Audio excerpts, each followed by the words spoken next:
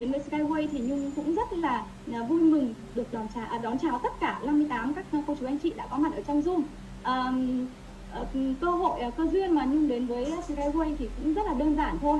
Đó là vì là Nhung là một giáo viên rất là nghèo nên là Nhung muốn phát triển bản thân cũng giống như là Nhung muốn trao đi thật nhiều cái cơ hội uh, cho đến uh, mọi người cho trong tất cả uh, đất nước chúng ta. Vì là uh, ở đâu đó thì vẫn còn rất nhiều những cái cơ hội để cần cho anh chị em cũng giống như là nhung cho đến cho mọi người. Nên là nhung có ước mơ như vậy nên là nhung đã uh, quyết định làm nhà đầu tư của Skyway.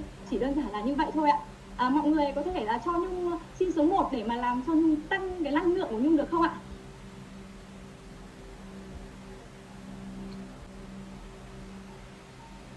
Cảm ơn mọi người có rất nhiều số 1 đã hiện lên. Nhung rất là cảm ơn mọi người um, um, cái chương trình đến với chương trình Zoom ngày hôm nay thì Nhung cũng muốn à, giao lưu với cả một số các cô chú anh chị ở trong uh, khán phòng ngày hôm nay. Thì uh, Nhung xin uh, được uh, phép, uh, xin phép được là uh, giao lưu với cả những uh, bàn tay ạ. Những bàn tay bàn tay của uh, mọi người giơ lên để mà uh, có thể giao lưu uh, cho buổi Zoom ngày hôm nay ạ. Nhung xin uh, xin mời những cánh tay ạ chúng ta có thể dơ lên để giao lưu trong hội trường ngày hôm nay ạ? À, trước khi đến với chương trình giao lưu này thì nhung cũng muốn là uh, chúng ta đã dùng bữa tối rồi rất là năng lượng rồi. Nên là nhung cũng muốn là nhìn thấy ai cũng nở một nụ cười thật tươi trên môi của mình. Vì muốn uh, được thấy tất cả mọi người thì nhung muốn là mọi người hãy tất cả đồng đều chí Vân. lên ạ đọc sách đây đồng chí Vân ơi cười uh, trao cho nhau những nụ cười thật nghỉ tươi. ngơi thế là đủ rồi chúng ta bước vào cái uh, buổi dung ngày hôm nay thật uh, giá trị và thật năng lượng ạ. Mọi người có đồng ý với nhung không ạ? À, okay. Xin mời tất cả các cô chú anh chị chúng ta bật cam lên để và cười thật tươi ạ. Cười thật tươi để đón chào nhau bằng những nụ cười thật tươi. Chúc cho nhau thật năng lượng đi ạ. Rồi ạ, Nhung thấy là những uh, um, nick, những cái uh, link cũng đã được mở lên và có rất nhiều những uh, các cô chú anh chị đã bật cam lên. Vân thích, rất là Vân, cảm ơn mọi Vân người có thích Donald Trump không? Trong khán ngày hôm nay thì Nhung rất muốn giao lưu với cả đồng ý các cô chú anh chị. Ở đây thì Nhung đã thấy có một uh, bàn tay giơ lên rồi đấy ạ. Có thích đọc sách của ông yêu tôi cho Vân mượn một quyển vào đâu. Anh Tuấn Xuân uh, có thể giao lưu với khán phòng một chút được không về ạ? tư duy cuốn này là về tư duy. Nghĩ lớn để thành công. Tức là nói về tư duy ấy. anh bật mic lên đi ạ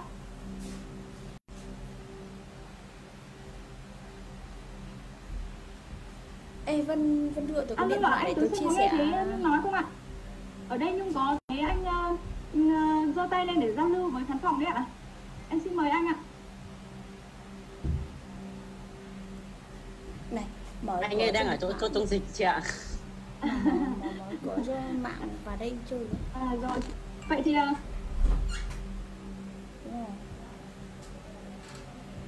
Dạ vâng ạ. Vậy em mời anh học uh, Đỗ Phương đi ạ. Học Phương Đỗ đi ạ. Em mời anh ạ. Em thấy có cánh tay của anh ra lên ạ. Xin mời anh.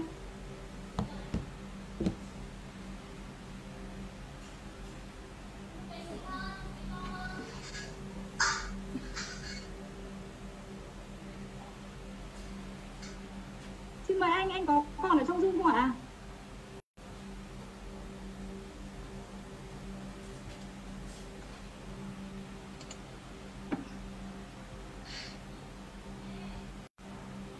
Ở đây thì có cũng có rất là nhiều các uh, cô chú uh, anh chị cũng muốn uh, giao lưu với, uh, với cả buổi chung ngày hôm nay đấy ạ. Uh, không để cho khán phòng chúng ta đợi lâu thì uh, em xin mời một uh, thành viên khác đi ạ. Uh, ai có thể xung phong giao lưu với uh, buổi chung ngày hôm nay ạ? Chúng ta xin uh,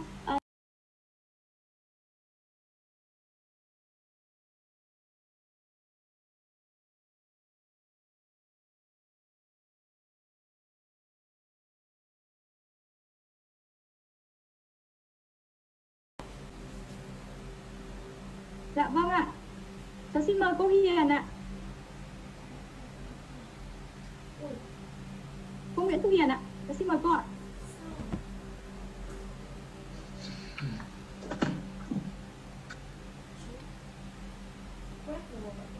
Có chị Liễu à? Có chị Liễu chị ạ? Chị Hồ Thị Liễu ạ? Tay của chị Liễu. Vâng, em mời chị Liễu ạ. Chị Hồ Thị Liễu em xin mời chị ạ. Dạ, xin chào tất cả quý cô chú anh chị và, các em có mặt trong buổi Zoom ngày hôm nay ạ. À, cảm ơn ban tổ chức, cảm ơn Nhung và các anh chị em cho phép em được uh, phát biểu trước giờ uh, Zoom ạ. Uh, thực sự mà nói là hôm nào mà có Zoom anh Nam thì không bao giờ bỏ sót. Và kể cả những cái kênh YouTube của anh ấy thì là là những cái video rất là vô cùng là, là chất lượng. Và khi mà khi mà em có những cái đối tác mà họ hoài nghi về dự án ấy, thì là gửi cho họ xem những cái phân tích của anh Nam thì thực sự rất là thuyết phục nhà đầu tư của em và rất nhiều nhà đầu tư họ đã đầu tư đầu tư và rất là tin tưởng vào cái dự án này. Thì thực sự mà nói thông qua cái buổi chung ngày hôm nay phát biểu là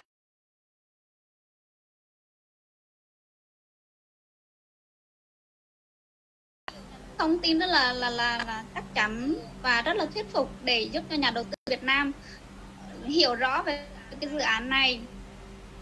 Và một lần nữa xin cảm ơn anh Nam rất là nhiều và chúng ta cũng rất là may mắn trong cái những cái ngày tháng này là có cái gói ờ, vinh danh. Thì ờ, không biết là mọi người đã vinh danh hết chưa ạ?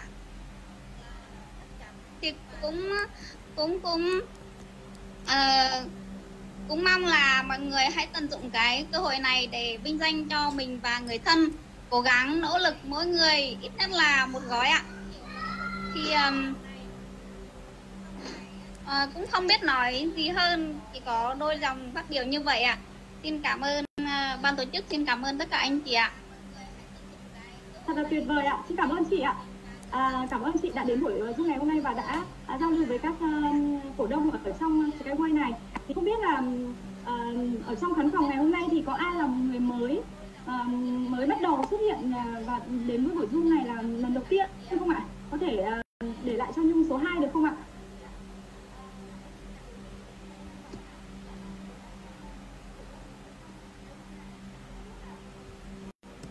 Dạ, Nhung thì à, đã thấy có một số số 2 xuất hiện rồi.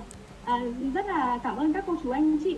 À, hiện tại thì à, buổi Zoom đã có 112 người và Nhung rất lệ lấy làm vinh dự khi à, à, biết đến và à, có rất là nhiều người xuất hiện càng ngày càng xuất hiện trong buổi Zoom ngày hôm nay à, để cho cái buổi Zoom ngày hôm nay chúng ta được thành công hơn nữa thì chúng ta hãy à, dành cho nhau những số 9 thật đẹp đi ạ để chúng ta uh, chuẩn bị bước vào Zoom và bước vào nội dung chính ạ.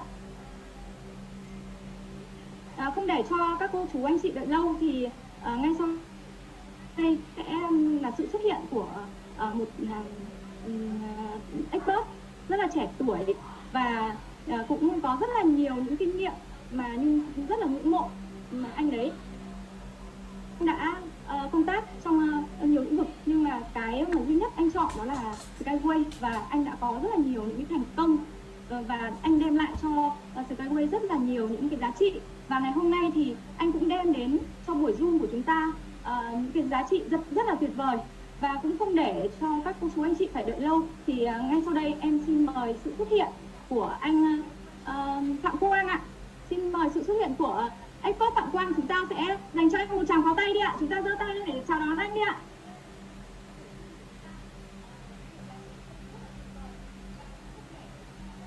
Vâng, xin kính chào tất cả quý cô chú anh chị đã có mặt trong buổi Zoom ngày hôm nay. Và lời đầu tiên thì cũng cho phép được Quang xin để tất cả quý cô chú chị cùng gia đình một lời chúc sức khỏe và một lời chào trân trọng nhất. Và chúng ta chúng ta cũng không quên dành cho chúng ta một tràng pháo tay bởi vì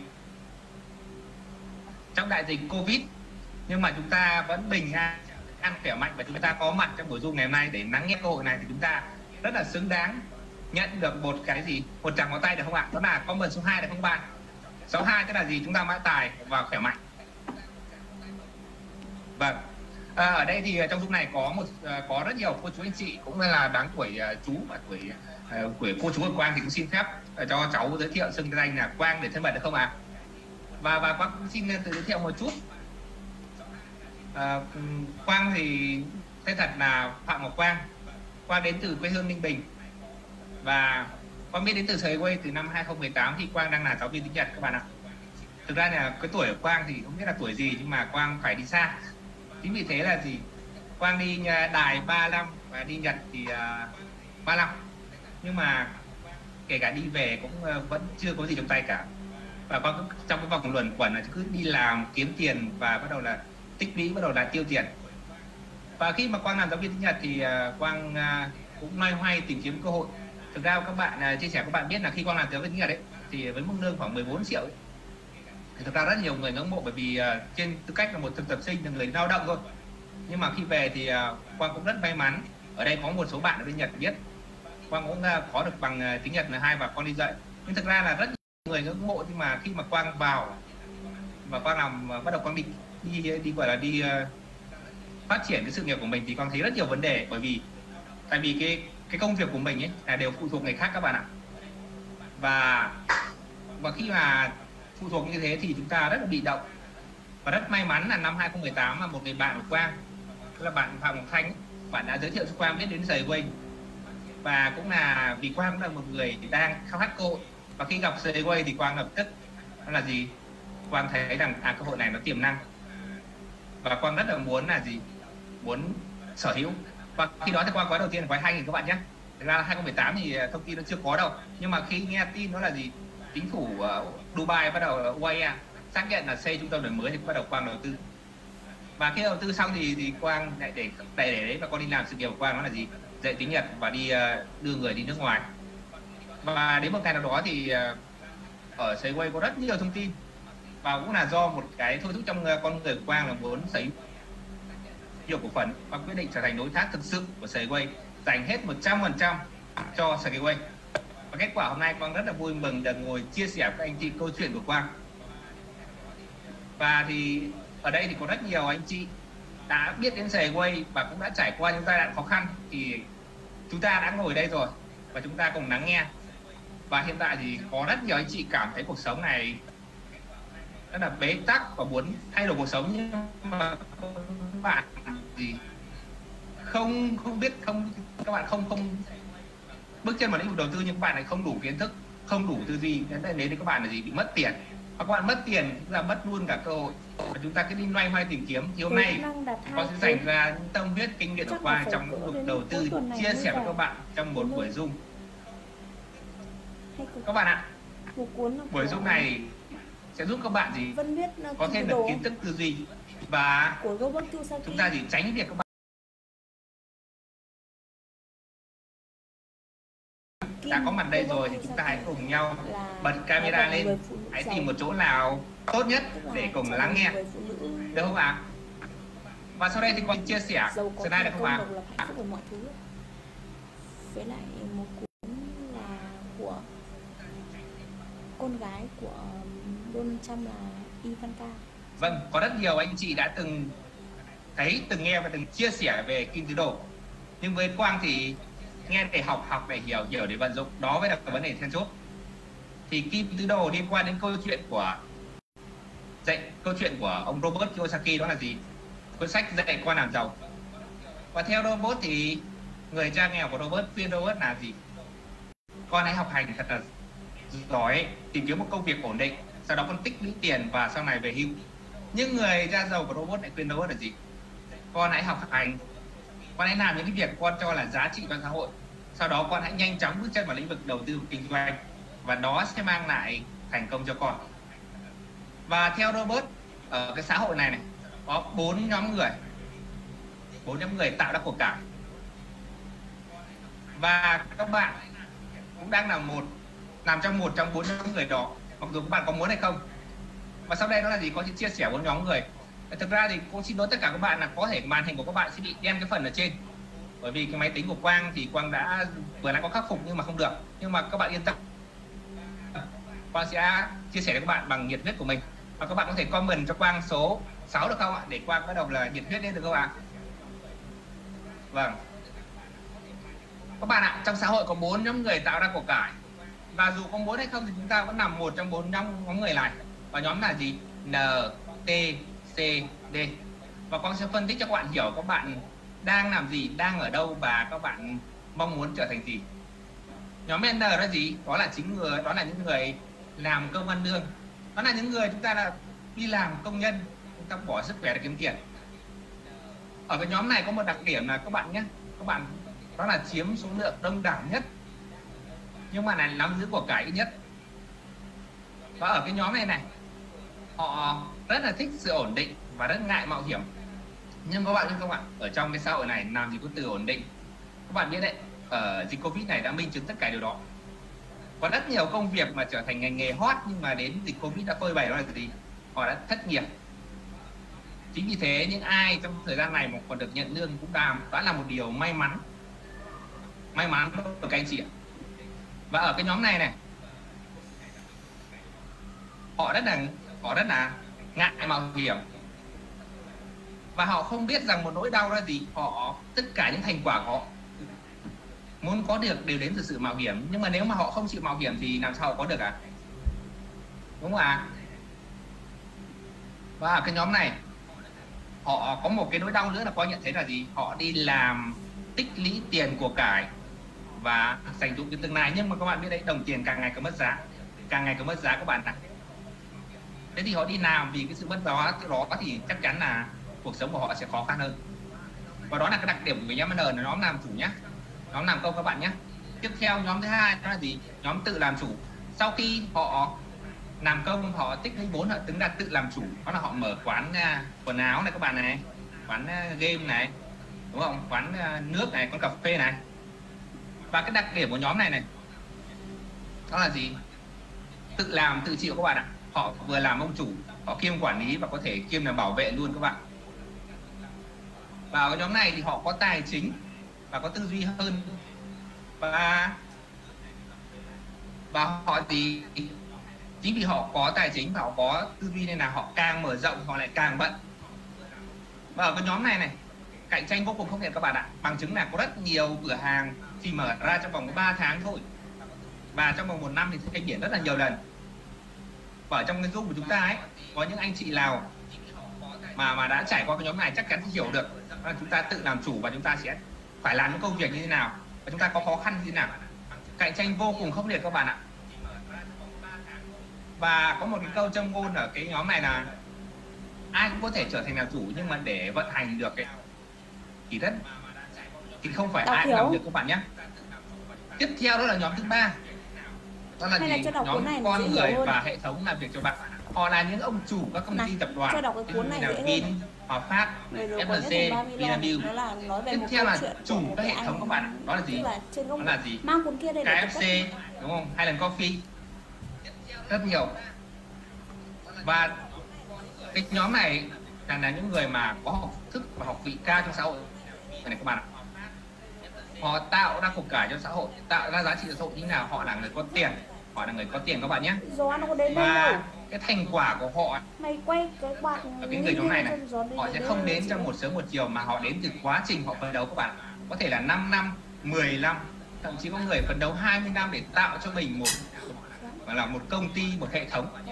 Chính vì thế những ai trong zoom này mà đang muốn trở thành con người trong nhóm C này này thì chúng ta bay chúng ta hãy làm luôn và ngay đi. bởi vì thành công ở cái nhóm này sẽ không đến trong một sớm một chiều. Ở cái nhóm ba cái nhóm này thì cạnh tranh cũng khốc liệt các bạn. Có rất nhiều công ty tập đoàn đã mở ra đã phấn đấu cả 10 20 năm trời. Nhưng mà chỉ trong một thời gian ngắn thôi khi mà không theo không mà theo kịp xu thế thì thì đã bị loại cuộc chơi.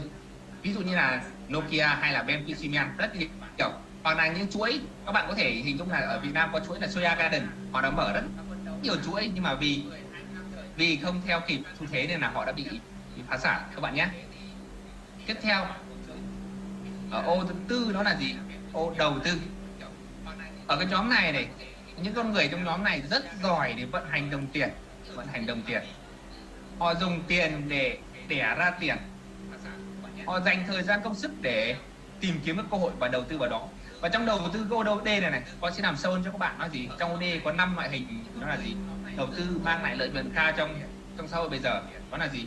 Cổ phần cổ phần cổ phiếu đấy, bất động sản thị trường crypto hay là bitcoin đấy các bạn nhé. Và là vàng. Thì con sẽ phân tích sâu hơn cho các bạn hiểu một chút là gì? Với cái số tiền nhỏ và vừa phải chúng ta làm gì để có một bước đột phá hơn? Với số tiền nhỏ nhỏ như gì 100 đến 500 triệu thì các bạn đầu tư vào. Khi mà có hỏi đi đầu tư thì rất nhiều bạn nói rằng à em đầu tư cổ phiếu. Nhưng các bạn phải hình dung này này. Đầu tư cổ phiếu hai yếu tố tiên quyết đó là gì? Tiền và kiến thức. Các bạn biết khi đầu tư cổ phiếu những mã lớn người ta có thể đầu tư 1 tỷ à, đầu tư 10 tỷ 20 tỷ thậm chí cả trăm nghìn tỷ và với cái số vốn nhỏ của bạn, nếu mà đầu tư thì cũng vẫn có được lợi nhuận, nhưng mà nó lại không thể mang cho sự đột phá được. Mà ngược lại, nếu các bạn không có kiến thức thì các bạn có thể mất trắng. Cái thứ hai là bất động sản. Với số tiền nhỏ, với số tiền vừa phải thì 500 triệu hay một tỷ các bạn có thể mua được một mảnh đất đẹp. Ai mà tiền để nói rằng, tôi có thể sau này, sau năm, ba năm tôi bán 3 tỷ. Và đất cũng chỉ có thể nhân đôi nhân ba, và cũng chưa thể mang lại cho chúng ta một sự giàu có nhất định, một sự đột phá về kinh tế, các anh chị ạ đúng không ạ? Tiếp theo đó là gì? Vàng. Vàng thì rất là, đây là cái món rất là ưa thích của người dân Việt Nam. Nhưng với Quang thì, vàng thì là tài sản trú ẩn thôi. Rất khó để sinh lời, bởi vì các bạn biết không? Với 200 triệu các bạn mua cho tôi 4 cái vàng. Nhưng mà các bạn nói bao giờ vàng lên 100 triệu để các bạn bán là à tôi lại được lãi được 400 triệu nhân đôi đúng không ạ? Ok. Tiếp theo đó là gì? Lĩnh vực đó là đầu tư tiền điện tử, bitcoin các bạn ạ ở cái lĩnh vực này thì ờ, có chia sẻ luôn là có rất nhiều người kiếm được tiền và có rất nhiều người mất tiền. À muốn đầu tư trong lĩnh vực này thì các bạn phải có kiến thức. Kiến thức. Và các bạn biết không, ở trong cái thị trường điện tử này có một cái là gì? Độ biến thiên rất là cao. Chúng ta có thể thành công trong một đêm, nhưng mà có thể mất trong một đêm. Thì cái này các bạn phải cân nhắc. Cân nhắc. Hay là người đi đầu tư mà có kiến thức, thì chúng ta dành tỷ lệ khả thắng cao hơn. Tiếp theo đó là cổ phần cổ phần nó là gì? Chúng ta bỏ, bỏ tiền ra sở hữu cổ phần của các tập đoàn khởi nghiệp. Thì ở đây thì đã có rất nhiều người đã thành công từ số tiền nhỏ như thế. Họ đã đi đầu tư vào các tập đoàn khởi nghiệp và thành công thì chúng ta hãy lưu ý đến cái cái góc độ này cái cái ý này các bạn nhé. Và các bạn biết không những người ở bên phải theo Robert Kiyosaki thì những người ở bên trái kim tứ đồ là những người tư duy nghèo hay là gọi là những người nghèo. Và những người bên phải kim tứ đồ là những người tư người giàu hay ngoài gọi là người tư duy giàu các bạn ạ. Và cũng làm thế nào để chúng ta có thể chuyển sang lĩnh vực và đầu tư? Thì quang sẽ chỉ cho các bạn một cách và chúng ta có thể gì?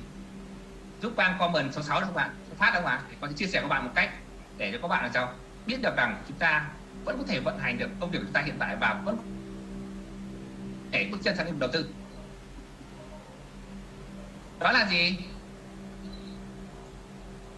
Đó là hàng tháng chúng ta hãy tích lũy ra một khoản dành cho đầu tư. Các bạn làm công, ăn lương không sao hết. Chúng ta làm tháng 8 triệu 10 triệu. Ok, không sao hết. Chúng ta vẫn chăm chỉ làm việc. Và hàng tháng chúng ta trích ra 1 triệu đến 2 triệu để bước chân sang lĩnh vực đầu tư. Chắc chắn cũng không sao đúng không các bạn? Và những người tự làm chủ, tháng người ta có thể lợi nhận 3 40 triệu. Nhưng người ta đã trích được 10 20 phần trăm, thậm chí là 30 phần trăm sang lĩnh vực đầu tư. 4 đến 5 triệu chắc chắn sẽ không sao.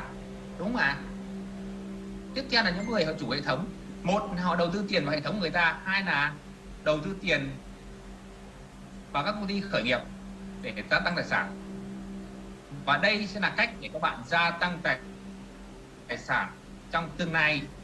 Và chúng ta vận chúng ta đầu tư thì đó là dòng tiền đó là tài sản của các bạn và các bạn biết không, khi các đầu tư thì có một chút quang phải chia sẻ với các bạn. Khi các bạn đi đầu tư thì có một cái con nhận thấy rằng các bạn hay bị mất tiền vì một yếu tố đó là gì? Yếu tố lợi nhuận. Có rất nhiều người đi đầu tư chỉ có trăm trăm để ý đến lợi nhuận là được bao nhiêu thôi. Nhưng quang chia sẻ luôn với các bạn rằng chúng ta hãy sống chậm lại với chúng ta hãy nghĩ rằng à số tiền ở đâu mà họ chia sẻ, họ giả cho các bạn là theo tuần, theo ngày, theo tháng, thậm chí là năm, sáu mươi phần trăm gấp gấp đến 10 15 lần lãi ngân hàng các bạn ạ, đầu tư kinh doanh là phải gì? Yếu tố đầu tiên là gì?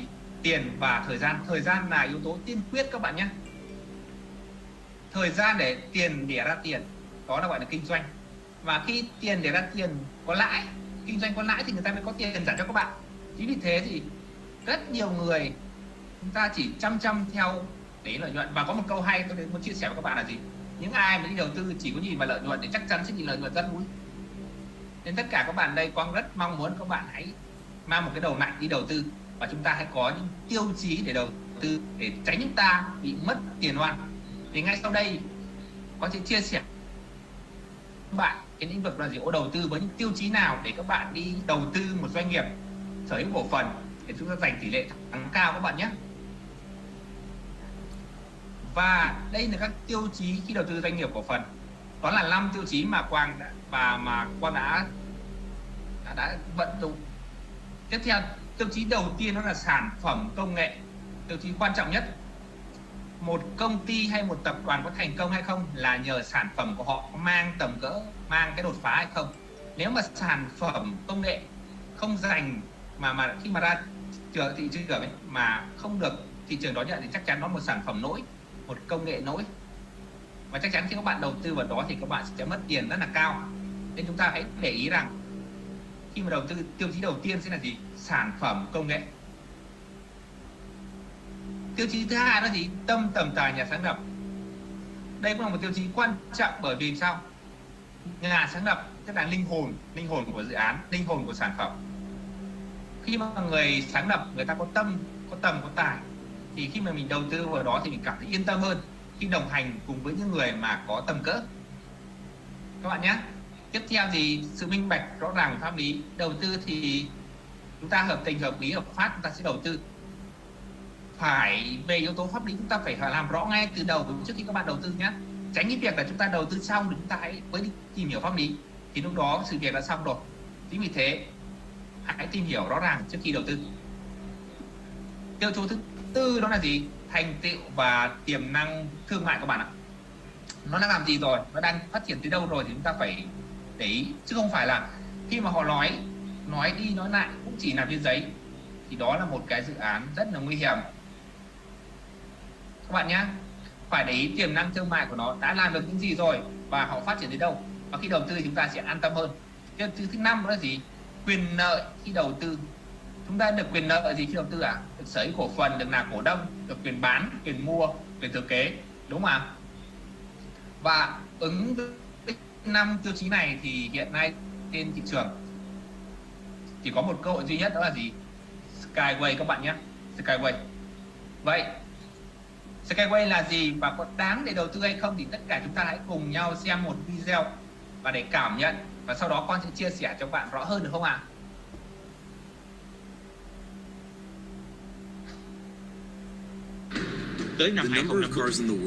Lượng by ô tô trên thế giới sẽ 2050. tăng gấp đôi, Twice as many traffic jams, lượng khí thải tăng gấp đôi, twice as much air emissions, cảnh quan half as thiên many nhiên giảm gấp natural đôi. landscapes. Giải quyết We're những vấn solving đề ấy these problems yet until cho Skyway đến khi dự án operates Skyway project. thực hiện.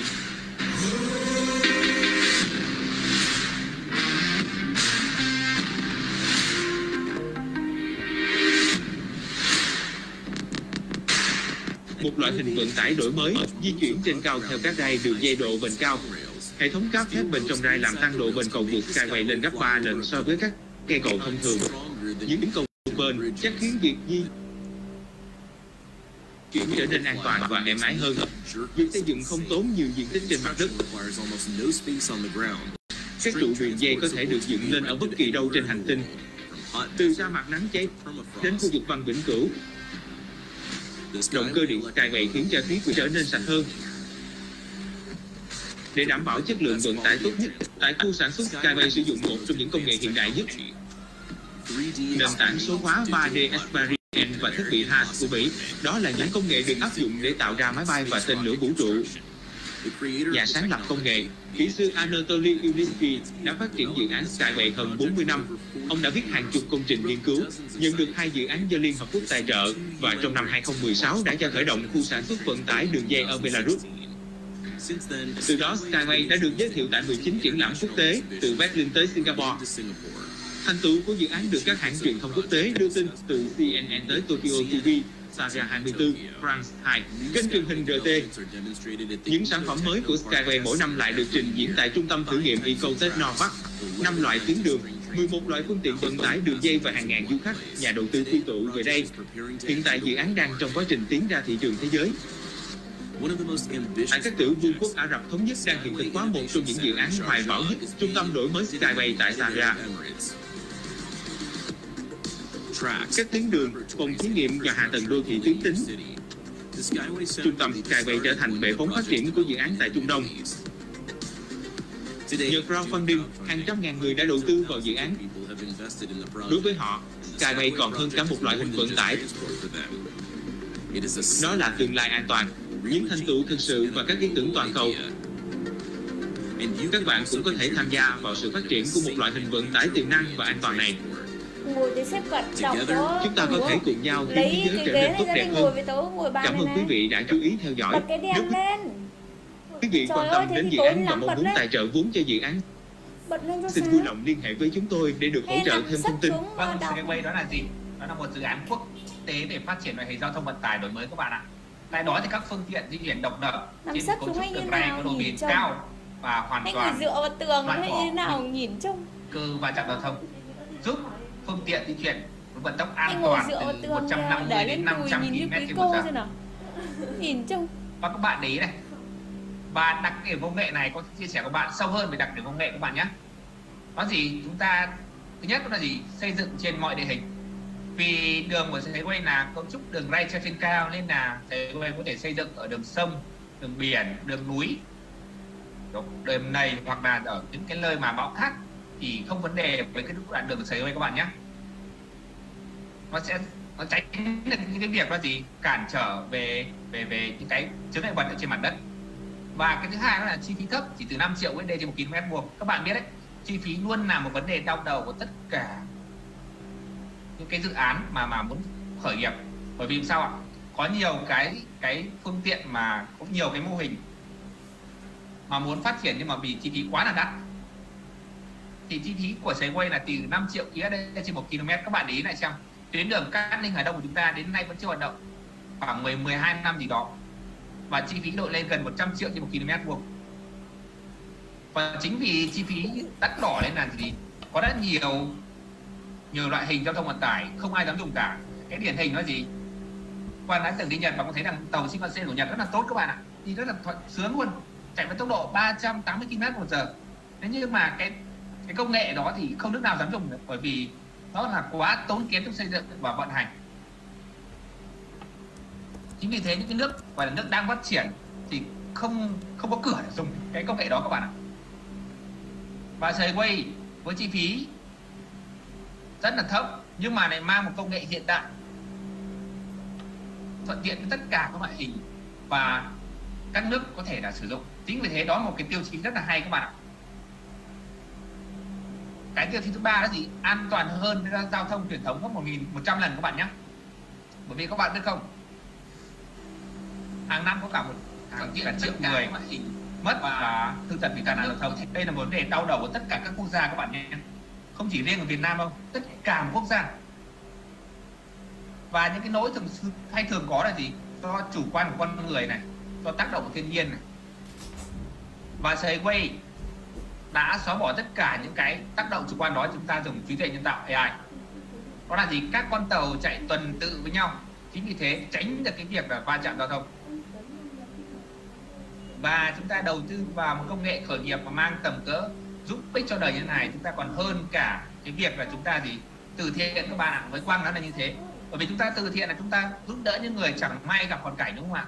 Nhưng mà chúng ta giúp đỡ vào một công nghệ mà giúp được sau này đời con cháu chúng ta, nhiều đời chúng ta không phải phải khó khăn khổ như thế nữa. Thì đó là cái việc còn hơn cả là là từ thiện, mà ngược lại chúng ta còn được sở hữu cổ phần của tập đoàn này nữa. Tiếp theo là gì tốc độ cao từ 150 đến 500 km vuông 500 km trên giờ các bạn nhé. Thì các bạn biết không, tốc độ là một cái, cũng là một cái thước đo. Để nói nên là cái công nghệ Segway đang phát triển vượt bậc bởi vì sao? Tắc đường thì ở đâu cũng có rồi các bạn ạ. Và khi tắc đường thì con chia sẻ luôn, ô tô con hay siêu xe hay là xe tải hay xe khách đều nhích từng mét mét một. Và chỉ có công nghệ Segway này chạy chạy một đường duy nhất và không trùng với một phương tiện giao thông nào. Chính vì thế thì cái cái việc nó gì? Ách tắc giao thông nó là rất là, gần như là không xảy ra. Và đây chúng ta đang nghĩ là gì? Một phương thức vận tải loại hình mới để giảm tải ách tắc giao thông. Và hàng năm thì ách tắc giao thông đã đã làm thiệt hại rất nhiều rất nhiều cho nền kinh tế của rất nhiều quốc gia. Hầu như đất nước nào cũng bị các bạn ạ.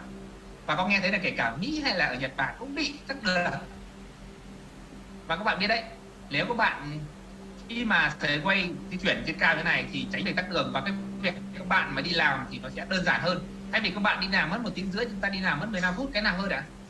Chắn là chúng ta sẽ chọn cái 15 phút chẳng đúng không ạ? Và tiêu chí năm là gì? Thân thiện với môi trường và bảo vệ thiên nhiên các bạn nhé quay chạy bằng gì các bạn biết không? Đó là chạy bằng năng lượng tái tạo từ điện gió và năng lượng mặt trời. Những cái năng lượng mà vĩnh cửu trong thiên nhiên không bao giờ mất. Và chúng ta đã áp dụng chúng ta đã có công nghệ đó nhờ sự, sự tài năng thiên bẩm của ông Ludwig và chúng ta đã gì? Có trong tay công nghệ kỹ thuật đó. Và các bạn biết không, khi mà chạy bằng năng tái tạo thì chúng ta sẽ giảm thiểu tai nạn, giảm thiểu môi, cái, chúng ta là ô nhiễm môi trường. Mà đặc biệt là do ô tô và xe máy là hai cái loại hình là thải ra khí thải nhiều nhất. Và các bạn biết không, cái trend của chúng ta, cái xu thế chúng ta bây giờ là gì? Các phương tiện bảo vệ môi trường. Quang vừa được, quang vừa được nghe thông tin nó năm 2035 các nước châu Âu là gì? Ngừng cấm, xuất khẩu xe chạy động cơ các bạn nhé. Chính vì thế, những loại xe hình như xe điện và những phương thức vận tải bằng bằng điện như sấy quay của chúng ta sẽ rất được ưa chuộng trong tương lai sắp tới các bạn ạ. Và các bạn để ý đến hình này được không ạ? Quá xin lỗi, vì trên màn hình chắc chắn sẽ bị che một chút ở vì máy tính của Quang nhưng mà con sẽ chia sẻ rõ hơn. Ở đây nó gì tắc đường do khói bụi các bạn nhé. Ở đây thì là do gì? Chiều cường các bạn trong Sài Gòn hoặc là những người mà ở Hà Nội những cơn mưa lớn thì hay hay gặp vấn đề này. Và ở trên hình bên phải đây là gì? Thác đường đó là món ăn thường xuyên của những người người dân thủ đô hoặc là những thành phố lớn của Việt Nam. Và đây là gì? Bão cát ở, ở Trung Đông à, hay có gặp những cơn bão cát như thế này. Thì các tuyến đường cũng bị tê liệt. Và sầy quay của chúng ta các bạn để ý này.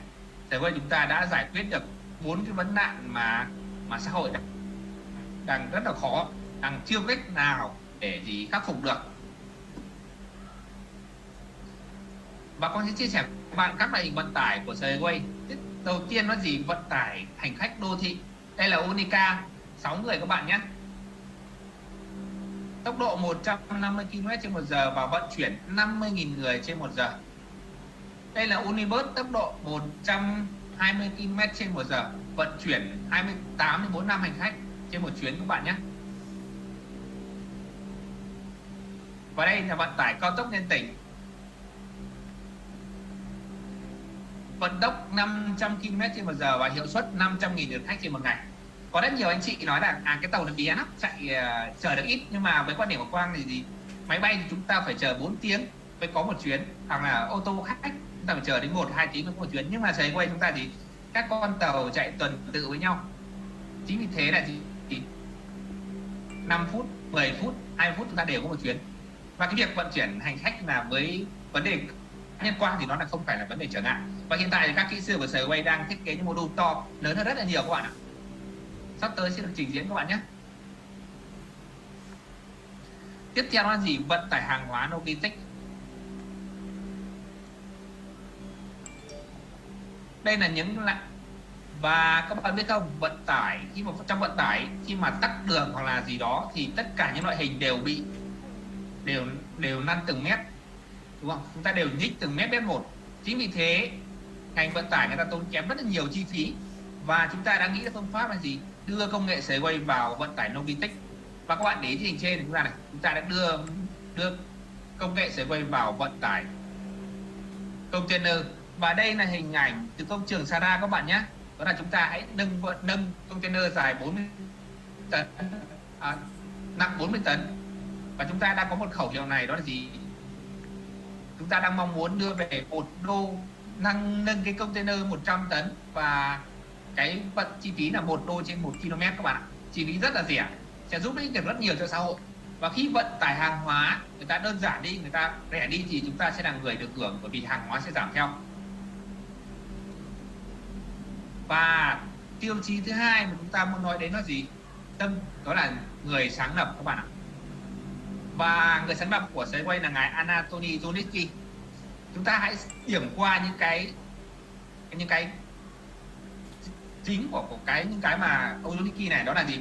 Tác giả và là thiết kế chung của Zunitsky Trình Technology lãnh đạo của hai dự án Liên Hợp Quốc thành viên của Liên đoàn Vũ trụ Liên Xô. Tác giả của hơn 200 phát minh cái gì ạ?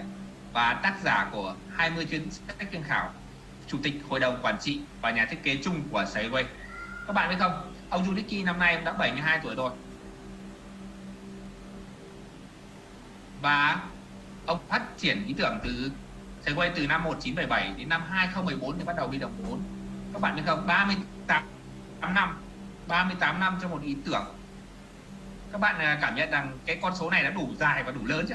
Đã đủ tầm để chúng ta thì chúng ta cảm nhận là một người lãnh đạo có tâm, có tầm, có tài chưa ạ? Có nghĩ là, có nghĩ là tất cả các anh em cũng sẽ tự cảm nhận thôi bởi vì chúng ta hãy để ý xung quanh chúng ta xem có những người làm mà đủ tâm, tầm tài thế. Khi mà chúng ta làm việc với họ thì rất là yên tâm. Và gần và hơn nữa thì ông này được sự tín nhiệm của rất nhiều nhiều cái cơ quan. Đó là gì? Ở bên liên hàn, liên đoàn vũ trụ liên xô các bạn nhé. Và các bạn để ý này, từ những năm còn trẻ thì ông đã bắt đầu muốn phát triển, muốn đưa công nghệ Segway cho đời. Và ông đã đi dự các hội thảo để chia sẻ về công nghệ Segway chứng tỏ một nỗ lực không biết ngừng nghỉ các bạn nhé. Tiếp theo là gì? Tiêu chí thứ ba là pháp lý. Quan đã nói rồi. Pháp lý là gì? Hợp tình hợp lý hợp pháp chúng ra nào?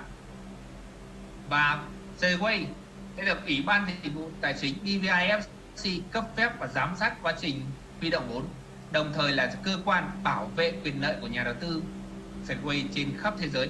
Thì BVIFC BVFc gì thuộc quần đảo Vegan của Anh các bạn nhé Vegan của Anh. Và khi các bạn, đây đây là một cổ, đây giấy chứng nhận của một cổ đông Việt Nam. Và khi chúng ta là cổ đông thì chúng ta sẽ là gì?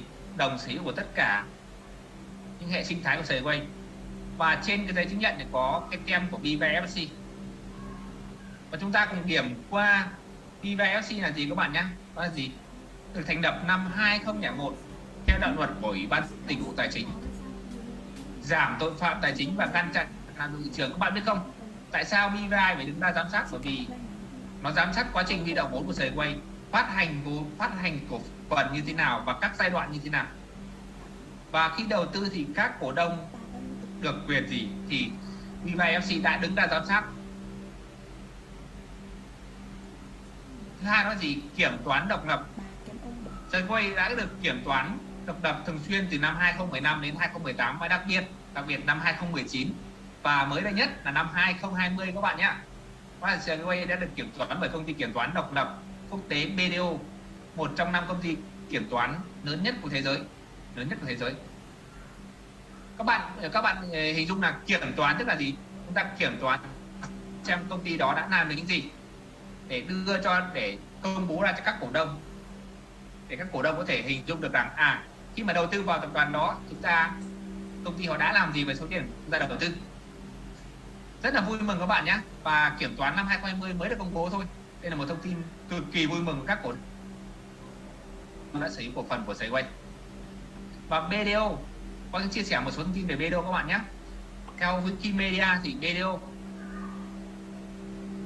BDO có các công ty thành viên tại 167 quốc gia và khoảng 91.000 nhân viên đối tác hơn 1.658 văn phòng và doanh thu năm 2020 đạt 10,3 tỷ đô la và là một trong năm công ty kiểm toán hàng đầu thế giới. Tiếp theo đó là gì? Giới quay được ISIN cấp mã đơn giản chứng khoán quốc tế. Vậy thì ISIN là đơn vị nào mà cấp mã chứng khoán? Là gì? ISIN cấp mã chứng khoán cho tất cả các tập đoàn lớn như Microsoft bạn đấy này có thể các bạn không để ý nhưng qua sẽ, sẽ không không không nhìn rõ nhưng mà qua sẽ chỉ về con bé. Có là Microsoft này Google này Apple này Amazon này Facebook này. Và xin đã cấp mã nhận dạng chứng khoán quốc tế? Cho sở quay đó là gì? VGG 322 291 094 các bạn nhé. Và đây và kênh uh, và tất cả trực tiếp trích mã BVFC trực tiếp trích mã ISIN và phân tích kiểm toán thì Quang đã làm những video trên kênh Segway Capital của Việt Quang rồi. Các bạn có thể vào, vì thời gian rất là ngắn nên Quang không có đủ thời gian để chia sẻ. Và các bạn có thể vào kênh của Quang để trực tiếp xem video và hiểu hơn các bạn nhé. Tiếp theo thứ tư các bạn nhé. Đó là gì? Segway đã đạt được những gì? Đạt được những gì? Để chuẩn bị cho quá trình thương mại thì Segway đã xây dựng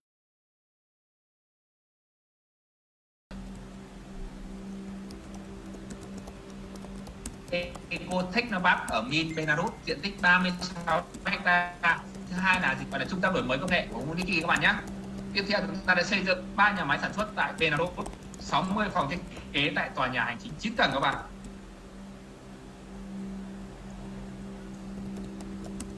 Cùng với đội ngũ từ Nga, Ukraine và Belarus. Đây là những dữ liệu cũ và hiện tại thì theo ông Nguyễn Đức Kiêm bố là hơn 600 kỹ sư các bạn đang đang cùng nhau nghiên cứu đưa cho ra đời một sản phẩm công nghệ mà chúng ta đang đầu tư, đó là gì? Skyway. Và các bạn để ý đây là đây là tất cả những tài sản của Skyway và cũng là tài sản của các cổ đông đã đầu tư tiền vào đó, từ nhà xưởng, văn phòng. Và chúng ta đang chuẩn bị cho những bước ra thương mại lớn và để xây dựng nhà xưởng rất là lớn. Xây dựng trung tâm đổi mới công nghệ Eco Technopark đây là hình ảnh từ trên cao các bạn nhé tại Bin Belarus và các cổ đông Việt Nam chúng ta đã sang tận nơi được check được được, được cùng chiêm ngưỡng công nghệ và được đi thử công nghệ. Đúng không ạ? Và đây hầu như là tất cả những anh em anh chị em của Quang. Và có những người cũng đang à, là người có mặt trong zoom này. Và có chia sẻ luôn khi mà sang đến sang đến à, công viên Ecotech Bắc ở Belarus thì chúng ta là có tiền đi các bạn nhé. Ờ, nếu mà đi sang Belarus thì mất khoảng à, gần 5.000 đô còn nếu mà sang ờ, Dubai thì mất khoảng 1.500 đô các bạn nhé. Đây là chúng ta tự bỏ tiền đi và chúng ta được sai, chúng ta được chiêm ngưỡng cái sản phẩm chúng ta đầu tư, công nghệ chúng ta đầu tư. Đây là những ảnh mà các cổ đông đã sang tận nơi được thăm nhà xưởng này. Và đặc biệt là hình ảnh qua muốn chuyển đến là gì? Các cổ đông Việt Nam đã tặng cho ông Luniski cha đẻ công nghệ sới quay và trích chống đồng của Việt Nam các bạn ạ. Chống Việt Nam. Và hiện tại đang được lưu danh tại viện bảo tàng của sới quay các bạn nhé. Trung tâm thứ hai đó là trung tâm đổi mới công nghệ ở Sara các bạn ạ. Đó là nhiệm vụ là gì? Chứng nhận kỹ thuật theo kiểu là tiêu chuẩn cao nhất trong điều kiện khắc nghiệt nhiệt đới. Các bạn biết không ạ? Sau buổi triển lãm uh, sau những buổi triển lãm thì các uh, nước Dubai uh, các nước tiểu vương quốc Ả Rập rất là thích công nghệ sưởi quay và họ nói rằng các bạn hãy chứng minh chứng minh cho tôi rằng công nghệ của các bạn công nghệ của bạn đáp ứng được các tiêu chuẩn. Thì bắt đầu chúng ta họ cấp đất chúng ta thì chúng ta bắt đầu là chứng nhận và các bạn biết không, ở UAE thì nhiệt độ rất là nóng, ngoài trời tầm ờ, 5 60 độ. Và như thế thì chúng ta phải chứng minh, ở nước lạnh chúng ta đã chứng minh xong rồi và bây giờ chúng ta đang chứng minh nước nóng. Và đây là công đây là trung tâm đổi mới công nghệ ở Sara các bạn nhé. Có rất nhiều tuyến đường đang được xây dựng. Chúng ta sẽ chứng nhận 6 tuyến đường ở đây các bạn ạ, trước khi chúng ta ra thương mại toàn cầu đây là hình ảnh Google Maps mà ờ, Quang đã chụp được. Nhưng mà đây là cách đây ờ, 3 năm rồi. Hiện tại thì bây giờ đã xanh tốt và ờ, mọi thứ đã đã đã, đã đâu vào đó rồi.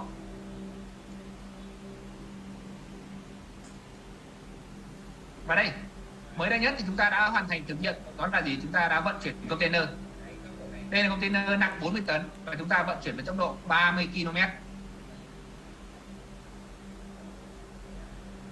hiện tại thì ở công viên thử nghiệm Sara cũng đã thử nghiệm xong Ulica chạy với tốc độ là gì 120 km và chúng ta đã vận chuyển và chúng ta đã có người ngồi thử trên này. Hiện tại thì các cổ đông của chúng ta cũng đã sang tận nơi để để, để được chứng được chứng kiến cái việc Segway đang xây dựng ở Sara. Đang xây dựng ở trung tâm đổi mới thực hiện ở Sara các bạn nhé. Tiếp theo là gì? Các bạn để ý không? Dubai Skyport. Skyport tức là gì? Tuyến cái phương tiện vận chuyển bầu trời của Dubai. Và Dubai cũng đã in cái logo ở trên cái con tàu Segway của chúng ta rồi. Chứng tỏ là gì?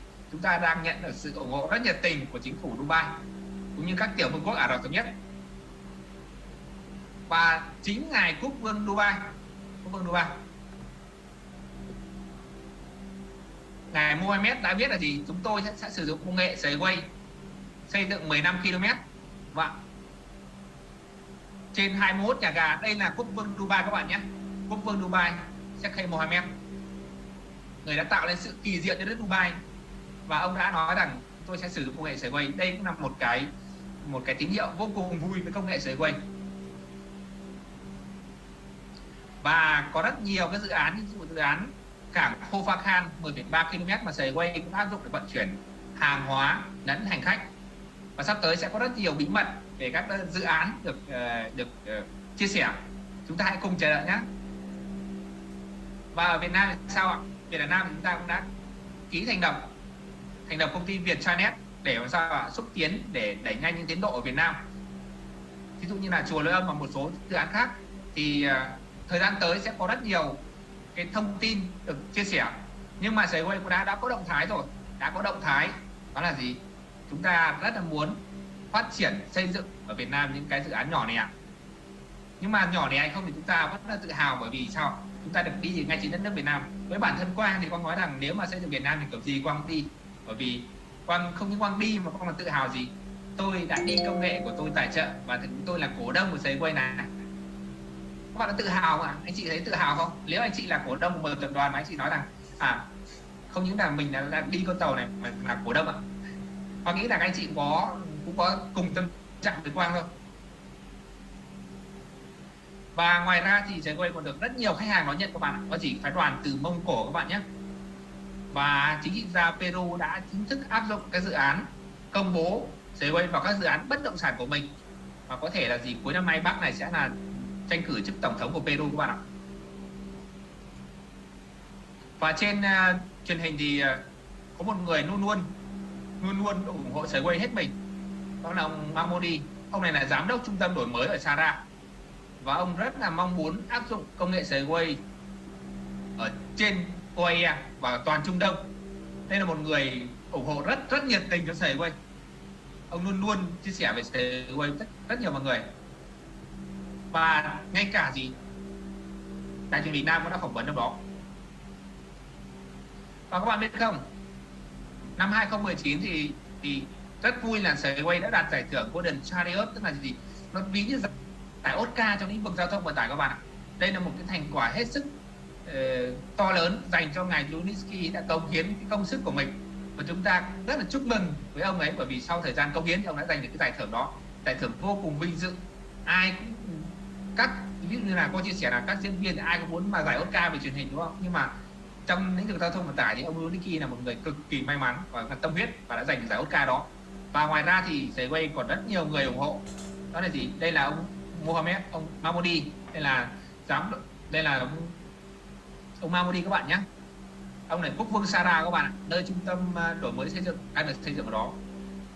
Tiếp theo là quốc vương và thái tử Dubai. Đây là đặt nay là ba một người rất là cao trong Phật giáo các bạn ạ đều luôn luôn ngưỡng mộ và ủng hộ ông ông Zuliki của chúng ta.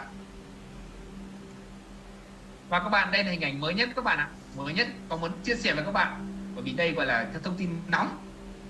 Đó là gì? Mới đây thôi, chúng ta đã được đạt được giấy chứng nhận. Hai vận loại vận tải là Unica và vận tải container.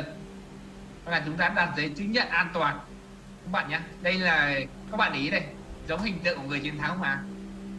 Vâng. Sau bao nỗ lực thì giới chúng ta đã đạt được những thành quả đó gì? Chúng ta đã đạt được giấy chứng nhận về nhà ga, về hành khách, về độ an toàn, về vận chuyển. Và thông tin tuyệt vời đây là thông tin mà con nghĩ là con thông tin hay nhất con muốn chia sẻ với các bạn trong buổi tối hôm nay. Và các phóng viên truyền hình của UEA cũng đã đến và tham quan trình diễn cái tham quan và đi thử con tàu của Segway và chúng ta hãy nghe họ cảm nhận như thế nào nhé đây là yếu tố khách quan và chúng ta hãy cùng lắng nghe xem họ nói như thế nào về công nghệ Segway chúng ta đang đầu tư họ nói chứ không phải chúng ta nói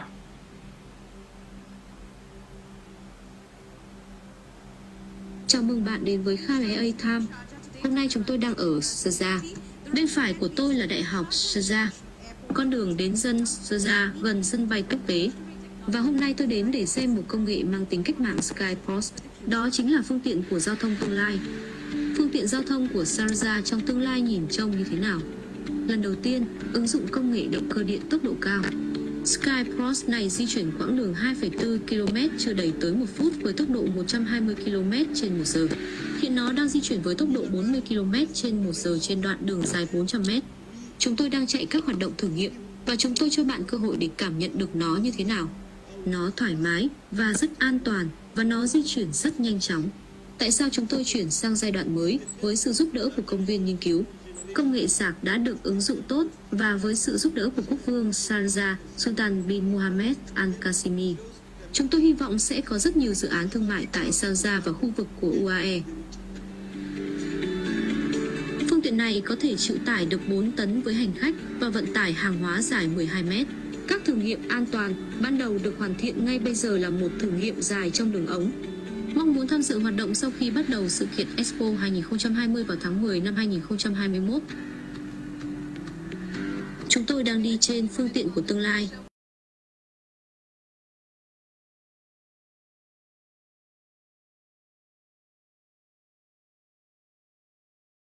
Khác, hệ thống giao thông Skyway đột phá đã được lên ý tưởng tại Minsk bởi nhà khoa học và triết học về giao thông vận tải ngài Anatoly Inisky. Chúng tôi đã hoàn thành chuyến tham quan và thậm chí còn trải nghiệm trên chiếc xe buýt nhỏ chở khách sang trọng sử dụng công nghệ dây. Đây thực sự là một phần ý tưởng đột phá, được thiết kế để giảm tai nạn giao thông và tắc đường ở tiểu vương quốc Sarja này. Theo cách này, hoàn toàn thân thiện với môi trường. Hơn 600 kỹ sư và các chuyên gia tham gia vào việc này. Công nghệ mang tính cách mạng hiện đang hoạt động tại địa điểm thử nghiệm tại Belarus.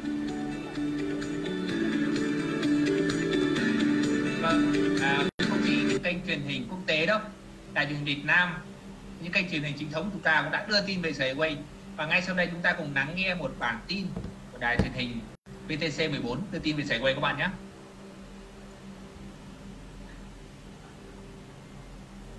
Người dân thành phố Saza, các tiểu vương quốc Ả Rập Thống Nhất UAE sẽ sớm được trải nghiệm một tuyến đường mới được cho là vừa rất nhanh, vừa có tầm nhìn đẹp sau khi đô thị này bổ sung hệ thống xe điện trên cao và mạng lưới giao thông công cộng. Hệ thống xe điện trên cao Skyport vừa được giới thiệu tại công viên nghiên cứu và đổi mới công nghệ Shaya. Hệ thống đường dây treo này do công ty Unisky String Technology của Belarus thiết kế và được cơ quan giao thông và đường bộ UAE phối hợp với công ty công nghệ Skyway Greentech triển khai. Tôi muốn nhấn mạnh rằng độ an toàn của hệ thống giao thông vận tải bằng dây văng cao hơn nhiều so với việc đi ô tô hoặc tàu hỏa. Ở hệ thống xe điện trên cao, các xe chạy tuần tự từng chiếc một, do đó loại trừ được nguy cơ va chạm trên đường dây. Các cabin của hệ thống xe điện mới có sức chứa tối đa 24 hành khách, với vận tốc có thể lên tới 150 km/h. Các chuyến xe đầu tiên dự kiến sẽ khởi hành vào tháng 3 tới đây, sau khi việc xây dựng tuyến đường dây trên cao hoàn tất. Vâng các bạn đã thấy đúng không ạ? Đấy, đài truyền hình của nhiều quốc gia đã đưa vào trong các đài truyền hình Nam. Và tại sao chúng ta lại biết đến cơ hội này? Biết đến cơ hội đầu tư vào sở cổ phần của Segway.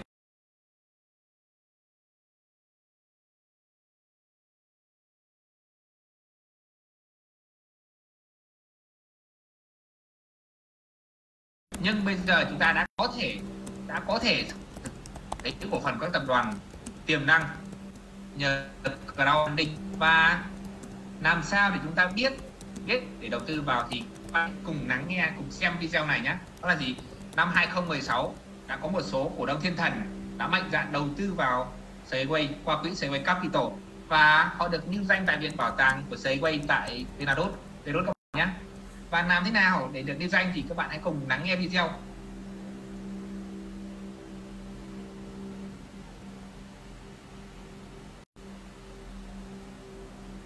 Anh này à, trong đây có có tôi này đấy quý vị thấy đấy thấy chưa chắc chắn chưa? Tôi đã có tên trong đấy và tôi đã giúp rất là nhiều người có tên trong đấy. Cúc anh này thị hằng này ngọc phương trâm này. Thế việc này đều là những người mà đầu tư lúc sơ khai của tôi. Đấy quý vị trên bảo tàng này. Cho cho nó lên. Ngọc là tên tên ngọc à? Đâu của tam đăng. Đấy đâu đâu Dòng đấy quý vị. Thứ hai rời lên ấy. vâng đây là những cổ đông đầu tư Segway Capital họ được lưu danh ở đây các bạn nhé và họ đầu tư như thế nào? Họ đang mách cho chúng ta đầu tư như thế.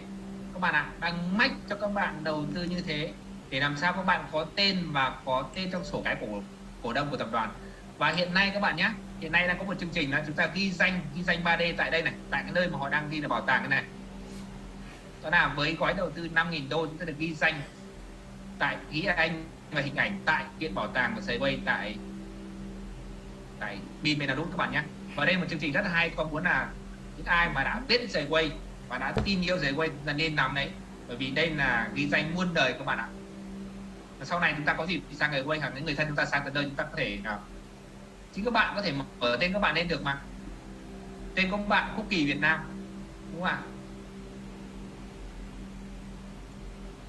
Và hơn nữa thì rất là tình cờ trong cái buổi sang mà chúng ta đoàn cổ đông chúng ta sang đến tận Beirut thì chúng ta đã rất may mắn được tham gia đại hội cổ đông tổ chức tại Beirut vào năm 2019 các bạn biết không ạ?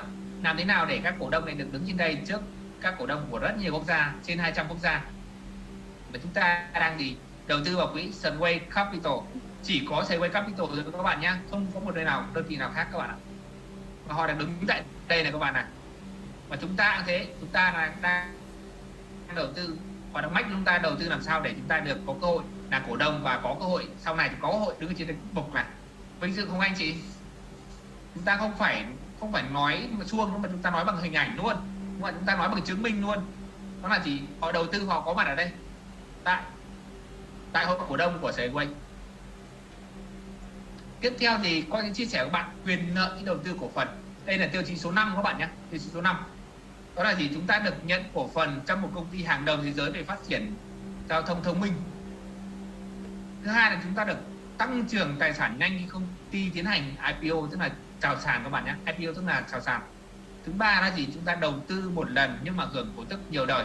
Và con sẽ lấy những ví dụ cụ thể để các bạn hiểu hơn hiểu hơn về ba cái ý này. Về gia tăng tài sản, có gì các bạn biết là năm 2020 có một cái thương vụ là gì? Công ty Airbnb đó gì, cổ phiếu tăng gấp đôi sau khi chào sàn. Tăng gấp đôi các bạn nhé. Đó là gì? Khi vừa chào sàn thì nó là 68 đô, nhưng mà ngay trong ngày hôm đó thì cổ phiếu đã bật lên là gì? 165 đô. Tức là gấp đôi các bạn ạ. Và thị trường đã quyết định giá cả. Về cổ tức cổ tức đây thì con muốn lấy một ví dụ rất đơn giản thôi. Ai cũng biết là gì? Công ty Vinamilk chắc ở đây ai uống sữa đâu mà. Đúng không? Trong gia đình chúng ta chắc chắn trong người sử dụng sữa Vinamilk mà các bạn biết không ạ? Mới đây nhất này, Vinamilk chuẩn bị chi trả 3.100 đợt 3.100 tỷ để trả cổ tức. Nhưng bạn biết được không ạ? Tỷ phú của Thái Lan sắp nhận hơn 600 tỷ đồng từ cổ tức của Vinamilk. Các bạn biết không ạ? Người Việt Nam uống sữa và tiền cổ tức lại chảy về Thái Lan. Và những cái tỷ phú của Thái Lan này, người ta không làm gì, người ta chỉ sở hữu cổ phần của của Vinamilk thôi các bạn nhé người ta không trực tiếp điều hành Vinamilk nhưng người ta là cổ đông của Vinamilk. Đối, các bạn hình dung ạ. Người ta có phải làm gì không ạ? Không, đúng không ạ? Đã là cổ đông nhưng người ta không phải làm gì cả. Người ta chỉ tài trợ vốn và ta sở hữu cổ phần thôi. Và các bạn thấy không ạ? Cái sức mạnh của cái việc đó là gì? Sở hữu cổ phần doanh nghiệp mà sau này thành cổ thành cổ phiếu cho các bạn. Đúng không ạ? Đây là minh chứng, không phải chúng ta nói nhé. Đây là đây là cái xã hội và đây là những cơ hội đang diễn ra như thế. Rồi tiếp theo nữa có chia sẻ với các bạn một cái ví dụ như là cổ phần trước IPO này. Các bạn biết không ạ? Con sẽ lấy ví dụ về Facebook nhé. Cái ứng dụng mà hầu như là người Việt Nam đều dùng. Các bạn biết không? Khi mà trước khi chào sàn ấy thì, thì Facebook được bán với giá là gì? 1 đến 2 đô. Và nó chào sàn với giá là gì? Năm 2012 khi mà Facebook chào sàn thì với giá 30 đô các bạn biết không? 30 đô nhá. Và hiện tại thì Quang vừa xem nó giá là 379 đô trên một cổ phiếu. Các bạn biết không, nếu năm 2019 năm 2009 có ai đó mách các bạn đầu tư vào Facebook, thì các bạn có đầu tư mà. Các bạn thử hỏi là nếu mà có một người đó nó mách các bạn, chúng ta sở hữu cổ phần của Facebook, liệu các bạn đầu tư không? Và các bạn biết nếu các bạn, ngày đó các bạn đầu tư 1.000 đô thôi, hiện tại các bạn đã có được bao nhiêu ạ? À? đúng không ạ 1.000 đô hiện tại bây giờ có được 379.000 đô rồi. Mà chúng ta cũng chẳng phải làm gì, bởi vì công ty công ty Facebook nào mình không phải làm gì các bạn ạ. À? đúng mà. Nó gia tăng một cách khủng khiếp. Đây là những con số cụ thể, không phải ai nói hết các bạn. Đó là đó là thị trường đang nói. Những cơ hội đang hiện hữu trước mắt chúng ta. Và có rất nhiều triệu phú được tạo ra mỗi năm nhờ các thương vụ IPO con chia sẻ cho các bạn một số ví dụ nhé, để các bạn thấy là một trường trung học đã kiếm hơn 20 triệu USD nhờ Snapchat. Snapchat là ứng dụng nhắn tin của Mỹ thôi và các ờ, phụ huynh đã đã, đã bỏ ra 50.000 đô để đầu tư sở hữu cổ phần của Snapchat. Và khi Snapchat chào sàn thì cái giá trị của họ đã lên là gì? 20 triệu USD. Một con số không tưởng đúng không ạ? Tiếp theo một công ty chebon Hàn Quốc năm 2020 à, khi mà khi mà chào sàn ấy thì sao ạ? Khi mà chào sàn thì 207 nhân viên của SK đã gì? Đã trở thành triệu phú các bạn nhé và đây một thương vụ có muốn rất, rất muốn chia sẻ với các bạn về một người đã giàu nhưng mà lại còn lại còn muốn đầu tư. Các bạn biết đấy người giàu càng muốn đầu tư có chia sẻ luôn đó là gì? Càng người giàu người ta lại càng thích đầu tư. Và đây là một cái minh chứng này. Đó là gì? Tỷ phú lý gia thành. Ông đã đầu tư 40 triệu đô vào Zoom. Nhưng bạn biết không ạ? Khi Zoom chào sàn các bạn biết cái số tiền này bao nhiêu mà 11 tỷ USD ăn đất mấy chục năm một ba là của ông ấy. Các bạn biết rằng người giàu nhất Việt Nam với Bắc Vượng chúng ta mới đang có sở khoảng hơn 7 tỷ, đâu đó hơn 7 tỷ thôi. Nhưng mà tỷ phú Nghĩa Thành đầu tư 40 triệu và thành 11 tỷ USD các bạn biết là ông phải làm gì đâu ạ? Ông ấy chỉ là người sở hữu cổ phần của Zoom thôi ạ. Ông ấy không phải là người điều hành Zoom. Cái ứng dụng mà chúng ta đang dùng đây ạ. Đúng mà, ông ấy không phải là người điều hành Zoom. Nhưng khi mà Zoom chào sàn thì ông ấy sẵn sàng, ông ấy đã có một tài sản rất là lớn và cái việc mà sở hữu cổ phần nó sức bật kinh khủng luôn anh chị. Và tiếp theo là gì? Khi Microsoft lên sàn chứng khoán thì lập tức lập tức bốn người trở thành tỷ phú và 12.000 nhân viên trở thành triệu phú. Khi Apple niêm yết thì hơn 300 người là thành, lập tức trở thành triệu phú.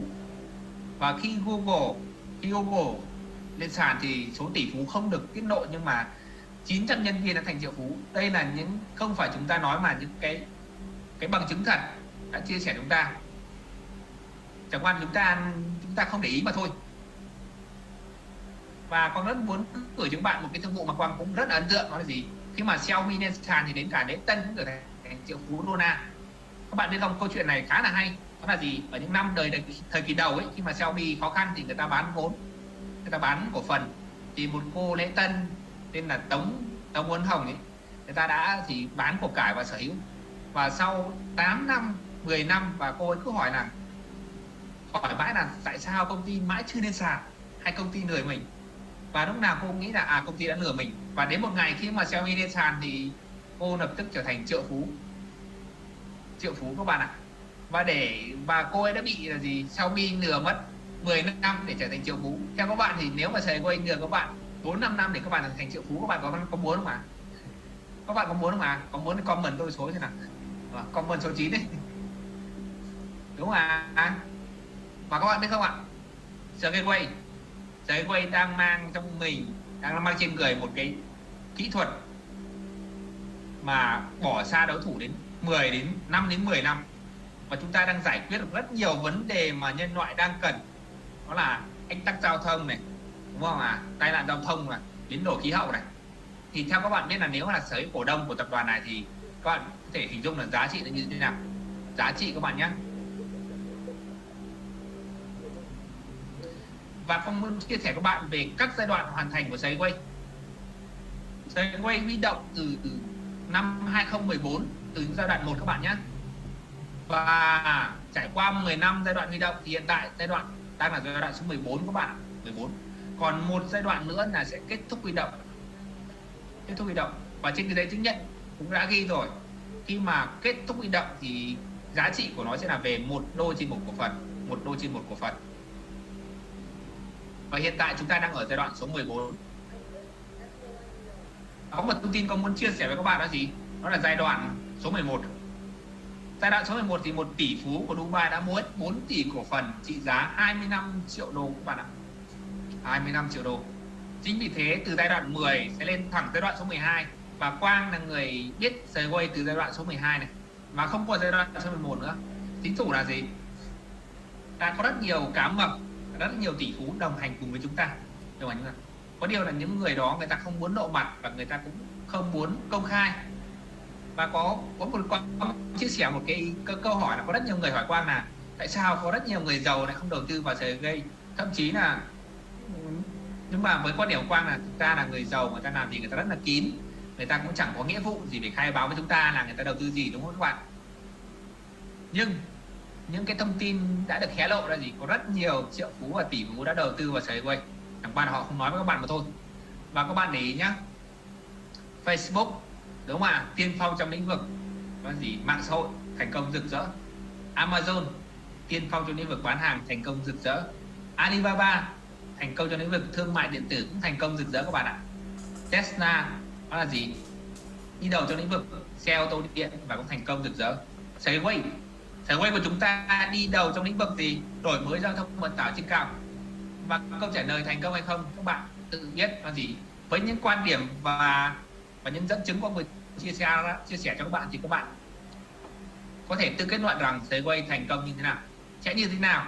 Nếu chúng ta được sở hữu cổ phần của tập đoàn Segway và đầu tư cổ phần Segway ngày hôm nay cơ hội đã qua, không bao giờ quay trở lại. Và quyết định là của các bạn. Dựa trên những dẫn chứng quang vừa chia sẻ. Và chúc các bạn có thể sở hữu nhiều triệu cổ phần Segway và xin cảm ơn quý vị đã lắng nghe. Và xin chào và hẹn gặp lại. Và ngay sau đây, ngay sau đây sẽ là một phần chia sẻ rất hay các bạn ạ. Các bạn biết không, phần sau lúc nào cũng hay hơn phần trước. Và phần sau các bạn sẽ gặp đến một người anh Quang một người rất là tâm huyết với Segway và có thể anh cũng là Google của Segway và con chia sẻ thêm là Quang biết anh ấy, hay anh em cùng biết Segway cùng một thời. Nhưng mà với quyết tâm và nỗ lực của anh ấy, thì anh ấy đã, anh đã là một quyết tâm rất là cao. Anh đã tập trung một trăm phần trăm sức lực cho Segway và hiện tại thì anh đã sở hữu cho mình một số cổ phần rất là đáng nể.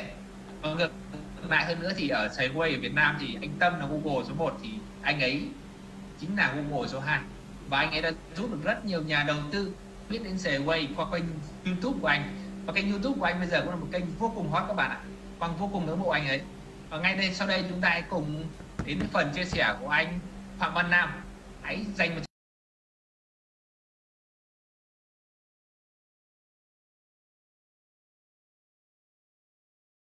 cảm ơn em Quang. Um, phần chia sẻ của anh Quang rất là tuyệt vời. Tôi cảm thấy phần chia sẻ của anh Quang thế nào? Và chúng ta hãy uh, hãy dành cho Quang một tràng pháo tay thật là lớn được không ạ? Là cảm ơn cái sự chia sẻ rất là nhiệt rất là nhiệt của bạn Quang. Để mong muốn là gửi tới cho tất cả các quý vị quý cô chú anh chị em chúng ta trong dung ngày hôm nay những cái thông tin và những um, cái kiến thức đầu tiên để chúng ta hiểu được về về đầu tư một phần. Và thứ hai nữa là chúng ta hiểu được về về dự án Skyway một cách tổng quát đúng không nó chưa hẳn là uh, chi tiết 100% để chúng ta nắm được toàn bộ nhưng mà chúng ta sẽ hiểu được dưới góc độ là nó sẽ khái quát bao quát được. Và một lần nữa xin cảm ơn em Quang. À, hôm nay thì Nam cũng rất vui khi mà có dịp uh, cùng nói chuyện trò chuyện với tất cả quý vị quý cô anh chị trong cái thời uh, trong cái thời gian cuối của cái phần phần Zoom.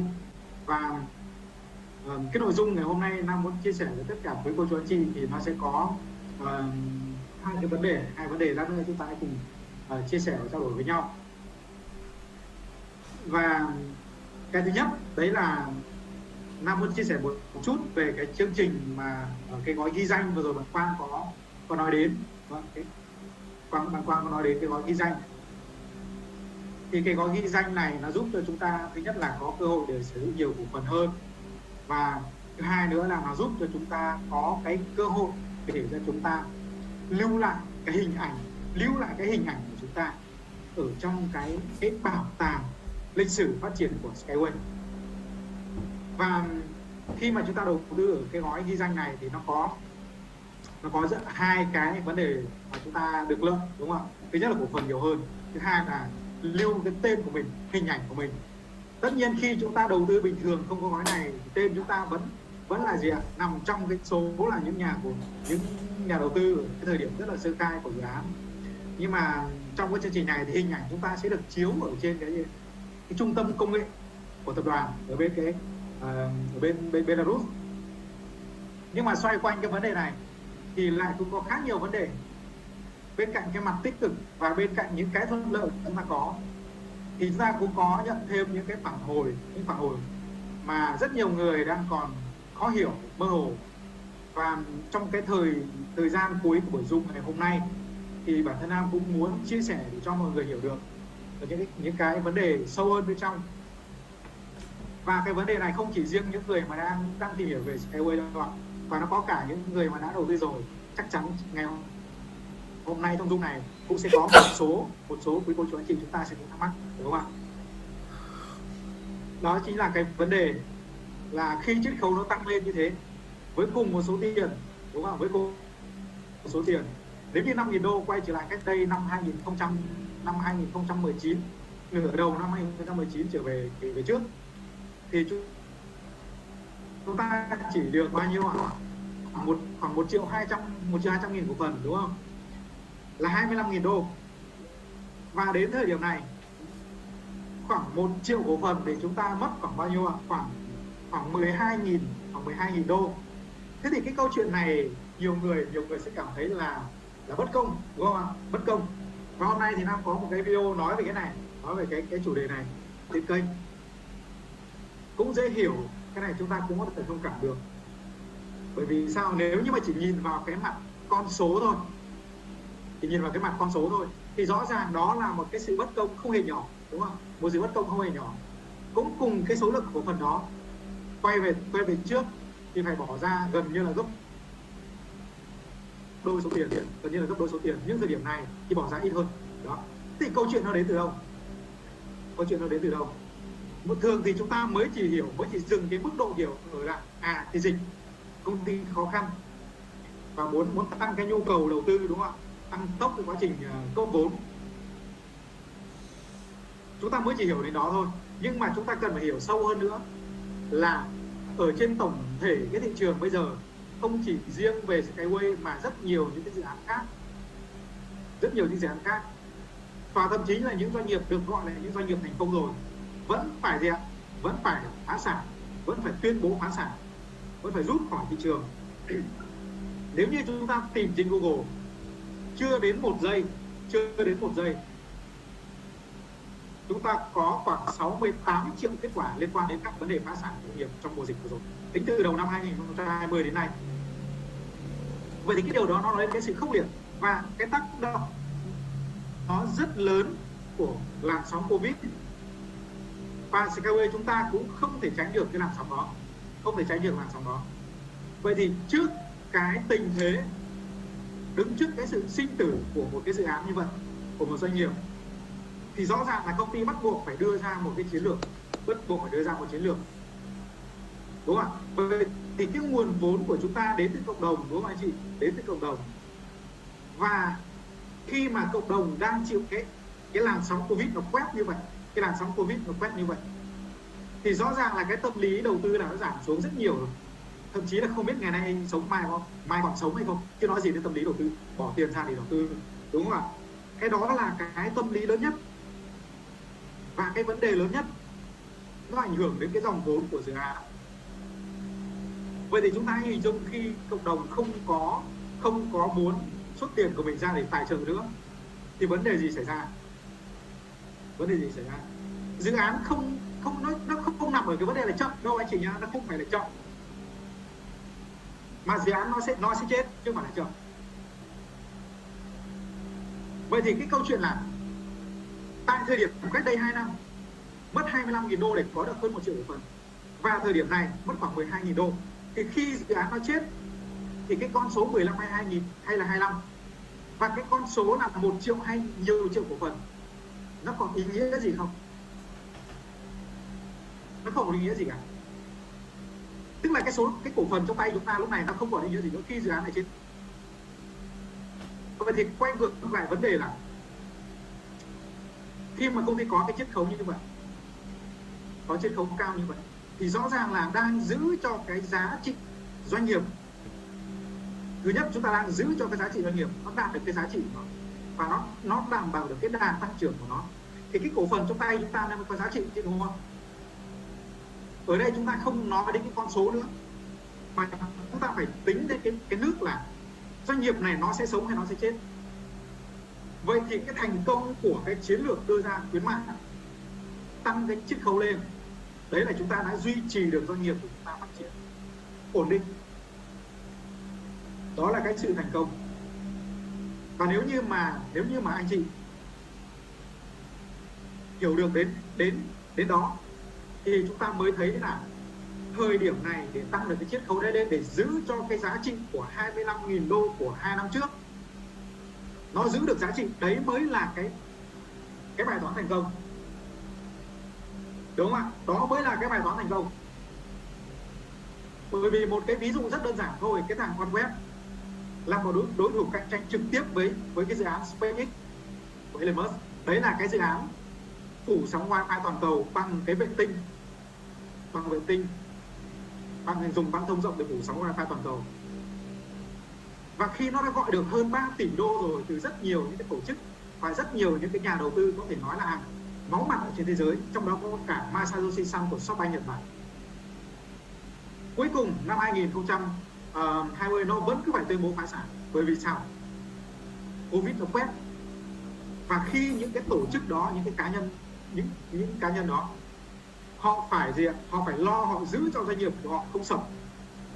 Giữ cho doanh nghiệp của họ không chết vậy thì họ tập trung vào doanh nghiệp của họ thì cái việc cấp vốn của họ đối với OneWeb nó bị ngừng, nó bị ngưng và khi nó ngưng vốn như vậy thì OneWeb rõ ràng là phải tuyên bố phá sản, phải tuyên bố phá sản. Và họ đã phải bán cái mảng kinh doanh đó đi. Thì cái ví dụ này để cho để cho anh chị thấy là cái sự khốc liệt trong cái làn sóng covid trong thời gian qua, nó không đơn giản đâu anh chị ạ, nó không đơn giản đâu cái làn sóng covid vừa rồi nó quét cực kỳ kinh khủng. Và nếu như chúng ta hiểu được cái vấn đề đó thì thì mình nghĩ rằng là nó sẽ không có cái phản hồi. Mà như lúc đầu chúng ta vào zoom, có một người vào vào comment đúng không ạ? Và comment tiêu cực ở trong đó là 200 triệu bỏ ra cách đây vài năm, cách đây hai năm. Nhưng bây giờ nếu mà tính về cái số lượng cổ phần để quy ra tiền ấy, thì nó chỉ khoảng 10 triệu thôi người ta nói thế. À ừ, nó khoảng 6 6 70 triệu thôi. Nhưng mà người ta không hiểu vấn đề là nếu như chúng ta chỉ tính cái giá trị và cái cái số lượng như vậy thôi ấy, thì chúng ta không nhìn thấy giá trị nó đâu hết. Và trong cái bài toán đầu tư anh chị cái bài toán đầu tư và đặc biệt khi chúng ta nắm cổ phần thì cái số lượng cổ phần mới là cái cái lãi lớn nhất. Chúng ta quan nhìn vào cái số lượng cổ phần nha cái số lượng cổ phần chúng ta nó vẫn nó vẫn ngồi im ở đó đúng không ạ? Nó vẫn ngồi im ở đó. Mặc dù là nếu mà tính ra tiền nó đã giảm cái cái, cái tiền xuống cái số lượng đô nó đã giảm xuống nhưng mà cái số lượng cổ phần nó vẫn còn. Vậy thì khi chúng ta lợi được cái số lượng cổ phần ở thời điểm đó nó vẫn giữ được thì chỉ cần khi công ty tăng trưởng trở lại thôi là cái tài sản chúng ta có sức bật và phải giữ bằng được cái đó.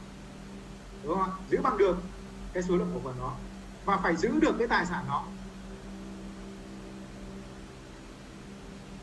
Anh chị có hình dung được cái vấn đề này không ạ?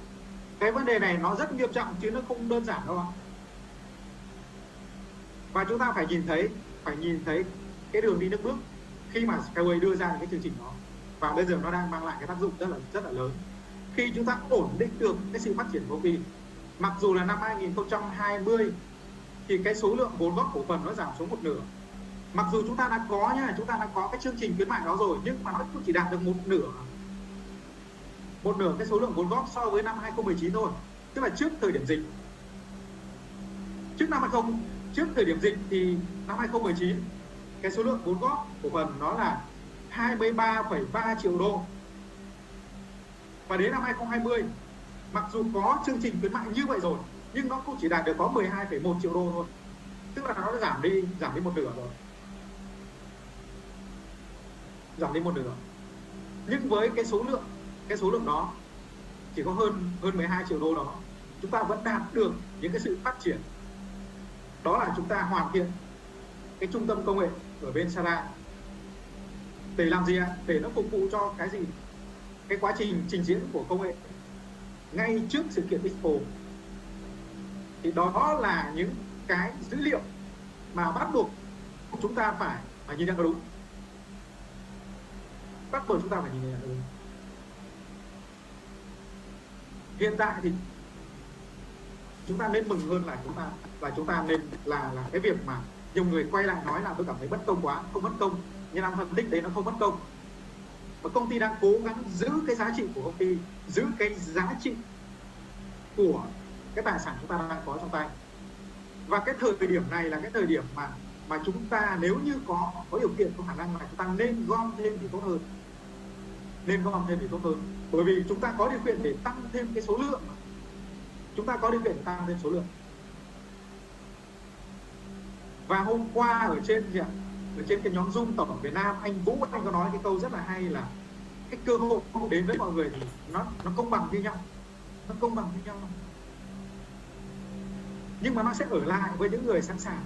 Tức là sẵn sàng cái trạng thái là khi nó đến là đón nhận ngay. Và nó sẽ ra đi, đi với những người không sẵn sàng đúng không ạ? Ra đi với những người những người không sẵn sàng.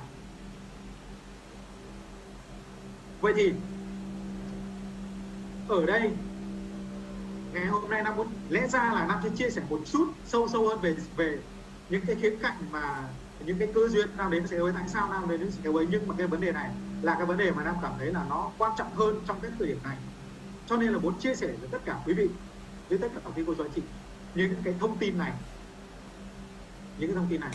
Và cái chương trình ghi danh này của chúng ta nó kéo dài còn có vài ngày nữa thôi. Ngày 15 nó kết thúc, hôm nay đã là mùng 10 rồi. Nó chỉ còn có 5 ngày thôi. Nếu như tận dụng tốt thời điểm này, thì chúng ta có thể gia tăng được cái số lượng tức là chúng ta tăng được cái quy mô tài sản của chúng ta lên. Đúng không ạ? Tăng quy mô lên. Thì đến khi quy mô nó đủ lớn rồi và thị trường nó chỉ cần biến động một ít thôi, là các tài sản chúng ta nó đã tăng mạnh lắm rồi. Được không ạ? Ví dụ thế này cho anh chị dễ hiểu nhé. Nếu như chúng ta chỉ có trong tay khoảng 100 nghìn cổ phần chẳng hạn vậy thì để 100 nghìn đó nó tăng lên được 200 nghìn là phải nó phải tăng 100 phần trăm đúng không ạ? Nó phải tăng 100 phần trăm giá trị, nó mới lên được 200 nghìn. Nhưng cái cái quy mô tài sản của chúng ta nó lớn hơn. Anh chị có trong tay khoảng 1 triệu cổ phần đi.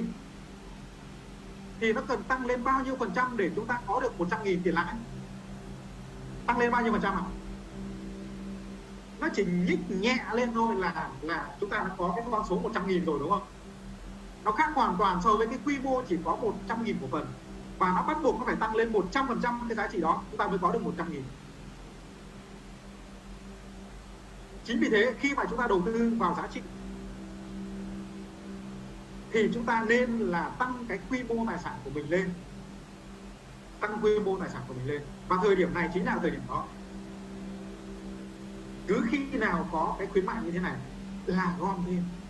Bản thân nam cũng thế bản thân nam cũng tranh thủ.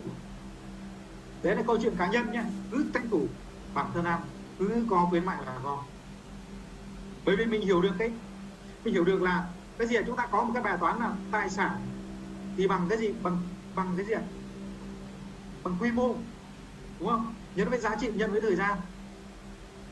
Vậy thì để cái tài sản nó lớn lên thì rõ ràng là cái đầu tiên là quy mô nó phải lớn như đã. Sau đấy là nhân với thời gian nữa, nó sẽ càng lớn hơn đúng không anh chị? Thì đấy là nó có công thức sẵn rồi. Chúng ta chỉ cần nhìn vào công thức là chúng ta cần biết là cái biến nào chúng ta phải tăng, cái, chúng ta phải thay đổi cái biến nào. Để cái tài sản chúng ta nó sẽ tăng hay nó giảm, ta biết ngay. Đúng không ạ? Và cái vấn đề thứ hai là muốn chia sẻ với tất cả anh chị, đấy là cái vấn đề liên quan đến báo cáo tài chính, liên quan đến cái báo cáo tài chính và cái việc cấp mã hai xin hiện nay nhiều người đã mang nhiều người đang thắc mắc đấy là gì? Cái mã hai xin chúng ta cấp cho nhóm công ty holding, đúng không? Đơn vị được cấp cái mã xin là nhóm công ty holding, đúng không ạ? Nhưng mà cái báo cáo tài chính, nó lại là một unit trên Technology, là một công ty, tổng công ty kỹ thuật của chúng ta. Vậy ở đây, nó là hai hai hai cái công ty khác nhau. Thế thì cái việc cấp mã hai xin và cái báo cáo tài chính nó có gì liên quan đến nhau không? Tại sao không kiểm toán holding? Hay là tại sao không cấp mã hai sim cho Unity trên Technology? Thì ở đây nó có cái gì ạ? À? cái mô hình của doanh nghiệp. Đúng không ạ? Ở cái báo cáo tài chính của công ty của chúng ta chúng ta để ý những cái thuật ngữ ở trong đó. Chúng ta thấy cái, ở cái chỗ mà doanh thu và lợi nhuận đó, ở cái đầu tiên không nó là cái đó dịch bằng Google dịch, có thể nó dịch nó không sát nghĩa, nhưng chúng ta quay ngược trở lại bằng tiếng Anh nhé nó là cái báo cáo lợi nhuận hợp nhất. Chúng ta có hình dung là cái hợp nhất nó là cái gì mà nó là cái báo cáo tổng lại chung cho toàn bộ trong tập đoàn, đúng không ạ? Cái báo cáo tài chính hợp nhất.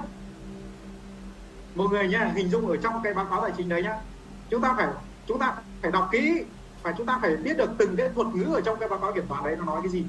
Cho nên là mình thấy rằng là nhiều người đưa cái cái thông tin về kiểm toán của Skyway nói là phân tích cái báo cáo kiểm toán của Skyway. Nhưng thực tế không phải không phải phân tích. Và bản thân cái video của Nam nói về cái báo cáo kiểm toán đó cũng không phải là phân tích. Mà chỉ là đang thuyết minh lại thôi. Để phân tích cái báo cáo kiểm toán nó không đơn giản đâu. Không phải chúng ta đọc lên ai lợi nhuận lợi nhuận một triệu đô là lợi nhuận một triệu đô. Vậy thì nhưng mà chúng ta còn phải xem là cái báo cáo lưu chuyển tiền tệ đấy, tiền nó đi như thế nào cơ? Tiền nó đi như thế nào? Và chúng ta nhìn vào cái vốn chủ sở hữu của chúng ta nó thể hiện một con số thì nó nói lên cái điều gì ở đó? Thì cái đấy là cái khả năng phân tích báo cáo tài chính. Đọc, nhưng mà đọc phải hiểu, phải giải trình được những cái mục đó thì đó mới gọi là phân tích báo cáo tài chính. Còn chúng ta chỉ đọc lại thôi, thì chúng ta nghe như vậy thôi thì đấy không phải là phân tích báo cáo tài chính. Mặc dù bản thân nam trước đây cũng đã học chuyên ngành kiểm toán. Đúng không ạ? Chúng ta cần phải hiểu được từng cái bút toán một ở trong đó cơ. Thì đó mới là người có đủ khả năng để phân tích một cái báo cáo tài chính. Và từng cái thuật ngữ ở trong đó chúng ta phải hiểu được nữa. Đúng không ạ? Vậy thì ngày hôm nay, trong cái thời lượng nó không nhiều và đang muốn chia sẻ với mọi người những cái thông tin như vậy. Để cho chúng ta cùng nắm được. Chúng ta cùng nắm được. Và chúng ta hiểu được cái doanh nghiệp của chúng ta. Đây nó thực sự là một doanh nghiệp. Chúng ta, tại sao nó lại là doanh nghiệp của chúng ta, mọi có biết không? Thậm chí là có nhiều người nghe chúng ta gọi nó là cổ đông của Skyway. Người ta còn không hiểu. Người ta nói là cổ đông gì đâu. Đầu tư một tí vào đây được cổ đông gì. Người ta nói như vậy đấy nhưng mà cái vấn đề là cổ đông là gì? Cổ đông là những người nắm một hay nhiều cổ phần của một công ty cổ phần. Thì gọi là cổ đông. Cho dù chúng ta chỉ có một cái cổ phần của Skyway thôi chúng ta cũng vẫn là cổ đông. Đúng không ạ? Đấy là những cái kiến thức nó rất là cơ bản và rất là sơ đẳng thôi. Nhưng mà thậm chí có nhiều người vẫn không hiểu đó à, những cái khái niệm rất cơ bản. Trước đây những cái buổi zoom như thế này này trong cái phần đầu ấy thì thì nam hay chia sẻ những cái kiến thức liên quan đến cổ phần là gì này? Đấy cổ đông là gì cổ tức là gì này. Nhưng mà thời gian gần đây thì cái đó nó uh, không có chia sẻ nữa bởi vì là chúng ta cũng dễ tìm kiếm ở trên trên Google. Chúng ta chỉ một vài thao tác là chúng ta có hết những thông tin đó. Thì cái vấn đề mà chia sẻ trong cái thời lượng này nó cũng không cần thiết đúng không và chúng ta hiểu được là chúng ta là cổ đông thì rõ ràng là cái doanh nghiệp này là cái doanh nghiệp mà chúng ta đang sở hữu nó. Chúng ta đang sở hữu nó. Và cái chiến lược đầu tư rất là hay khi mà khi mà tỷ phú Robert Kiyosaki có nói á. Đấy là hãy sở hữu cho mình một cái tài sản mà mình không phải quản lý. Mọi người có hiểu được cái câu nói này của ông Robert Kiyosaki không? Hãy sở hữu cho mình một tài sản mà mà bản thân mình không cần phải quản lý. Đấy là gì ạ? Đấy chính là cổ phần của doanh nghiệp. Chúng ta không cần phải đi quản lý doanh nghiệp đúng không ạ? Việc chúng ta là lựa chọn một doanh nghiệp đủ tốt. Và chúng ta nắm cổ phần của nó. Và chúng ta có một đội ngũ, những con người, đấy là gì? Những tổng giám đốc, những chủ tịch hội đồng quản trị. Đúng không ạ? Những phó phòng, những công nhân, có hàng nghìn con người trong doanh nghiệp đó đang vận hành rồi. Chúng ta không cần phải đi vận hành cái doanh nghiệp đó nữa. Và việc của chúng ta là, nhìn nhận, đánh giá và nắm cổ phần và cái cái doanh nghiệp đó nó cứ thế nó vận hành thôi. Chúng ta đã có người khác quản lý vận hành rồi. Và thậm chí là những người còn giỏi hơn chúng ta rất nhiều. Chúng ta có giỏi bằng ông Anatoly Zilitsky không? Không. Chúng ta có giỏi bằng bà A, Nazira Kosareva tổng giám đốc của Zilitsky Trinh technology không, chúng ta không giỏi bằng. Đúng không ạ? Chúng ta có giỏi bằng cái đội ngũ kỹ thuật hàng, gần một nghìn con người của của tập đoàn không? Chúng ta không giỏi bằng họ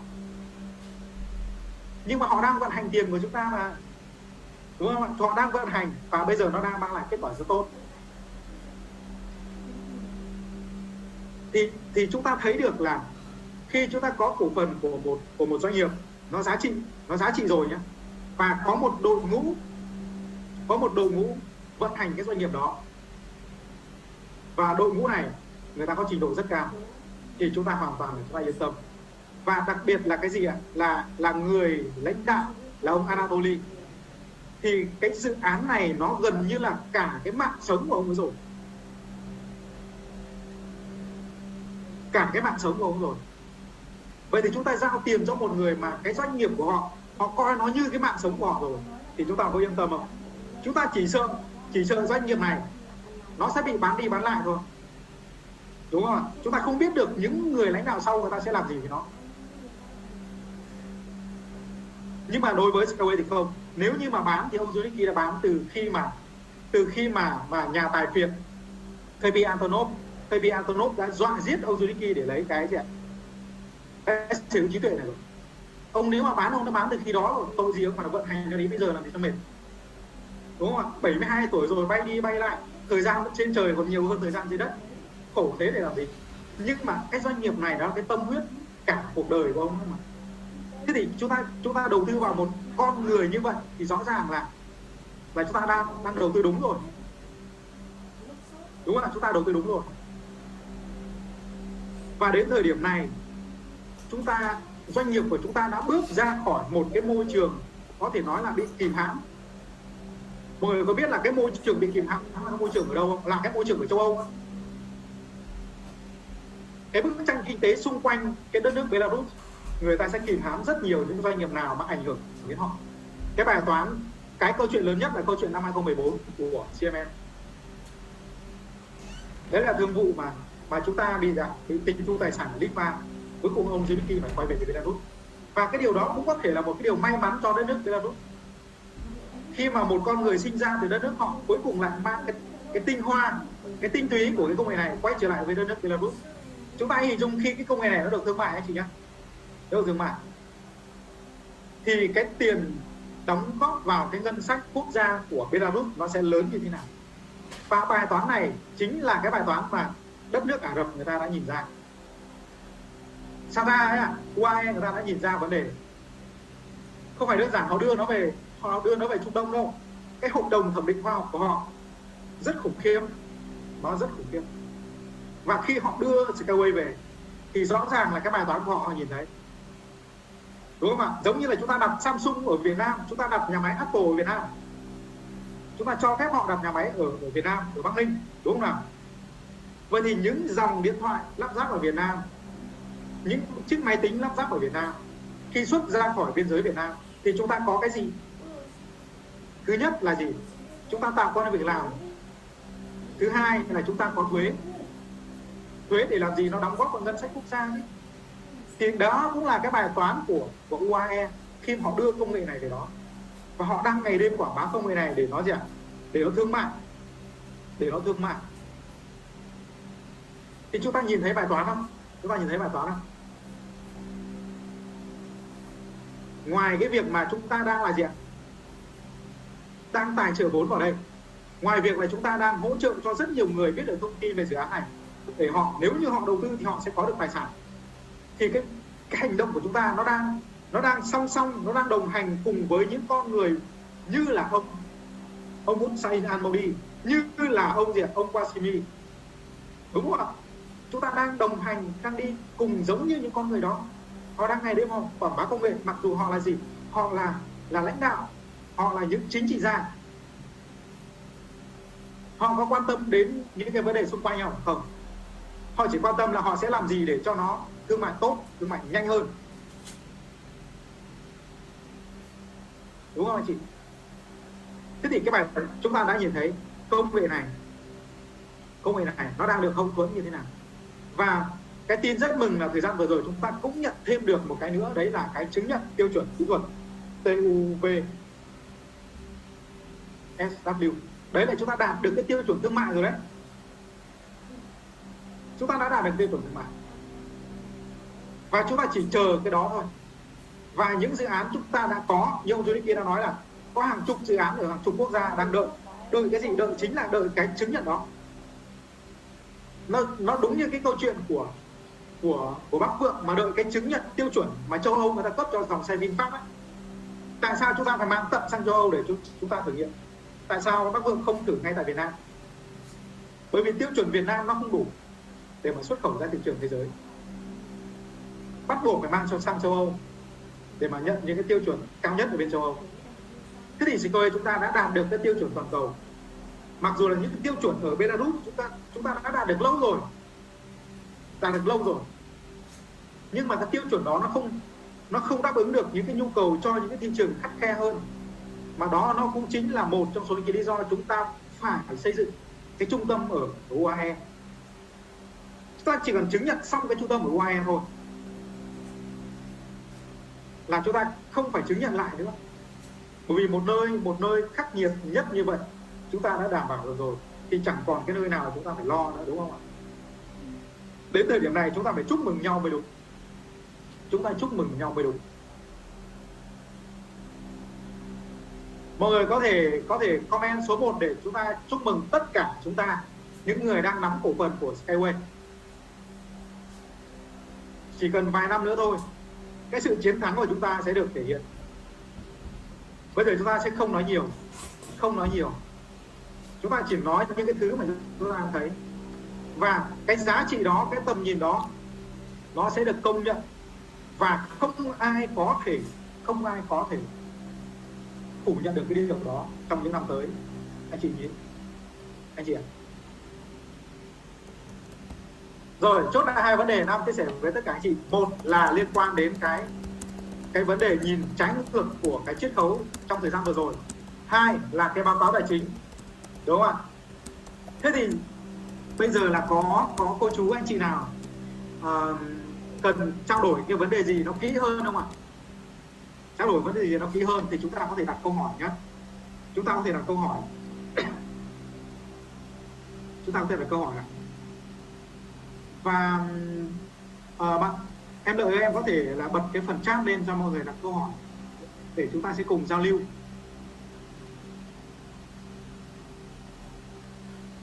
Có một câu hỏi à, của của của đông có hỏi như như thế này à, lãnh đạo ạ.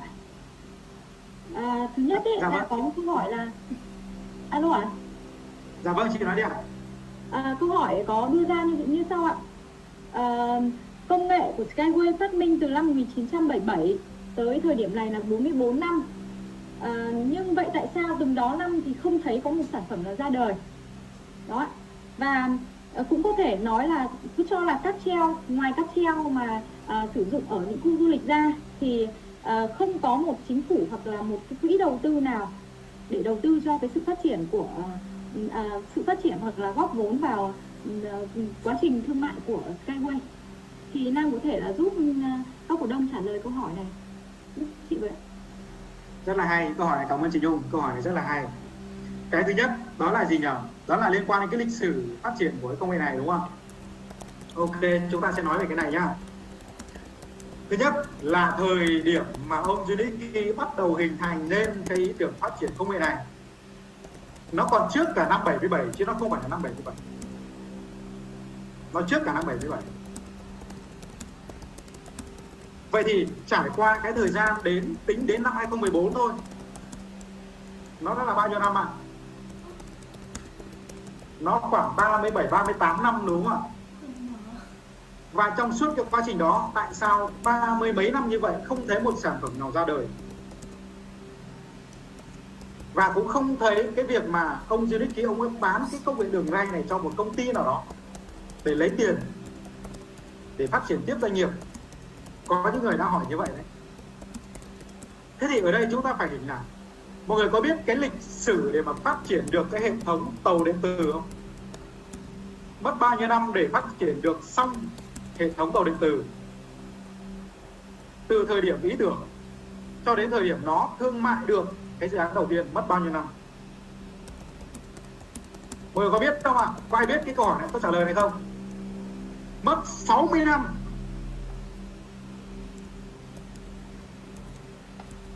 Mất 60 năm để phát triển xong. Cái công nghệ này từ khi nó ra ý tưởng cho đến khi nó thương mại được là cái công nghệ tàu điện tử ấy ạ. À.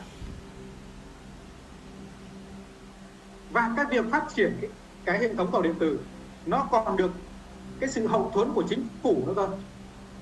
Nhưng nó đã mất tới 60 năm để nó phát triển xong. Thứ nhất nó phải xây dựng xong cái gì ạ? Cái cơ sở lý thuyết, những tính toán khoa học, tính toán toán học những trên những cái mô hình toán học. Thứ hai, sau khi xây dựng xong cơ sở lý thuyết, nó bắt đầu đưa ra những cái thử nghiệm trên mô hình nhỏ. Thử nghiệm trên mô hình nhỏ. Và thử nghiệm những cái đặc tính khí động học bắt đầu sẽ điều chỉnh. Sau đấy là cái bước tiếp theo là cái bước mà sẽ thử nghiệm trên cái mô hình kích cỡ thương mại. Mọi người dung đúng không ạ? Thử nghiệm mô hình nhỏ xong rồi, tiếp tục phải thử nghiệm trên một cái mô hình kích cỡ thương mại. Và cái quá trình phát triển của ông dưới Nicky thì gần như là thời điểm đầu, thì ông toàn phải bỏ tiền túi ông ra hết. Trước kia ông có một doanh nghiệp, một công ty riêng của ông ấy để bán những cái sản phẩm nông nghiệp. Và được bao nhiêu nhỉ? bao nhiêu lợi nhuận? Thì ông mới dồn hết vào cái việc mà nghiên cứu phát triển công nghệ Skyway. Ban đầu thì ông xây dựng cái gì cái hình thành ý tưởng này, thiết kế trên bản vẽ này. Tức là phải hình dung ra cái phương tiện của ông ấy nó sẽ nó sẽ vận hành như thế nào. Ông phát thảo ra giấy, sau đó là gì? Ông sẽ tính toán trên những cái cơ sở, trên những cái mô hình toán học. Để tính toán những cái bài toán vận chuyển của nó chứ vận tốc của nó có thể đạt được bao nhiêu chứ, đúng không? Và những cái hệ số an toàn, đơn giản thôi. Bây giờ anh chị thử hình dung là bây giờ cho anh chị xây một cái nhà đi, không phải thuê thợ, mà anh chị tự làm một cái nhà nhà nhỏ thôi. Tự xây, tự thiết kế. Anh chị sẽ làm gì? Anh chị sẽ làm gì ạ? Phải nhìn ra trong cái đầu mình xem là cái nhà mình sẽ muốn xây nó có hình thù gì, đúng không ạ? Sau đó là lên ý tưởng vẽ ra giấy. Hay là chúng ta sẽ nghĩ ra một cái phải xây cái nhà, xong rồi không biết là cái nhà mình xây to hay nhỏ, nó ngang, nó dài hay nó vuông hay là nó tròn. Cứ thế là đi mua đi mua xi măng sắt thép về, mang cuốc, mang thủng ra nào, ra xây. Xây không được lại đập đi, lại mua cái khác. Chúng ta làm như vậy, hay là chúng ta sẽ lên ý tưởng trước, chúng ta thiết kế trước? Và đây nó là cả một cái hệ thống giao thông, nó không đơn giản. Mọi người hãy hình dung này cái hệ thống giao thông khác với một phương tiện giao thông. Hệ thống giao thông khác với một phương tiện giao thông. Hệ thống là gì? Từ thiết bị đầu cuối, từ cơ sở hạ tầng. Cái gì ạ? Năng lượng cho nó vận hành, phương tiện đó nó sẽ đi như thế nào? Và quản lý nó như thế nào? Công nghệ gì tích hợp ở trên đó? Tất cả những cái đó chỉ có mỗi ông GDP phát triển thôi. Nó chỉ có mỗi GDP phát triển thôi anh chị ạ và cái quá trình ông phát triển như vậy, nó kéo dài trong suốt 40 năm, trong suốt 40 năm. Ngoài cái việc phát triển được rai ra ngoài phát triển được rai ra anh chị nhá, là nó còn, ông còn phát triển cái gì ạ? Cái loại phương tiện phát triển động cơ, những cái công nghệ sẽ tích hợp ở trên đó. Sau đó thì ông nhận được cái gì ạ? Nhận được cái sự hỗ trợ của quỹ hòa bình liên xô và cái quỹ gì ạ? Quỹ của liên hợp quốc thì khi đó ông mới có đủ cái kinh phí để ông phát triển tiếp. Và đến thời điểm năm 2014 năm 2014 là cái thời điểm mà cái quá trình nghiên cứu đó đã xong. Đã xong. Bắt đầu gọi vốn để thương mại. Bắt đầu gọi vốn để thương mại. Thì khi mà bắt đầu gọi vốn thương mại, đến bây giờ chúng ta đã thấy rồi, đúng không ạ? Đã bắt đầu có gì ạ?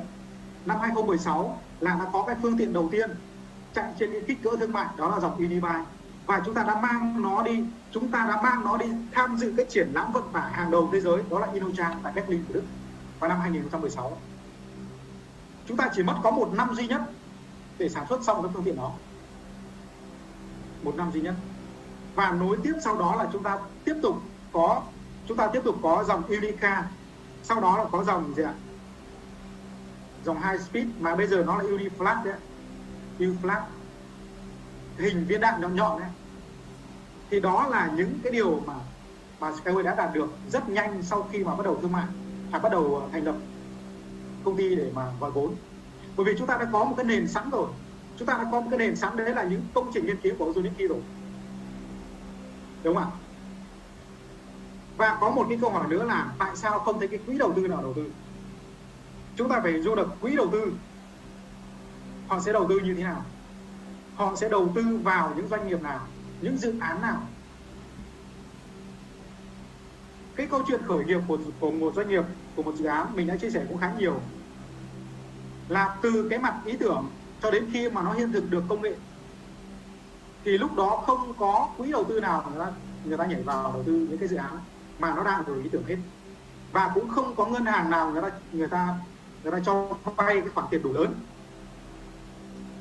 Bằng cái việc thế chấp ý tưởng không có và cái giai đoạn khi mà Skyway hiện thực được cái ý tưởng để có được cái phương tiện nó chạy, đấy là cái giai đoạn khó khăn nhất. Giai đoạn khó khăn nhất. Và bắt buộc chúng ta phải chứng minh được những cái điều đó, những cái công nghệ của chúng ta như vậy. Thì sau đó là gì?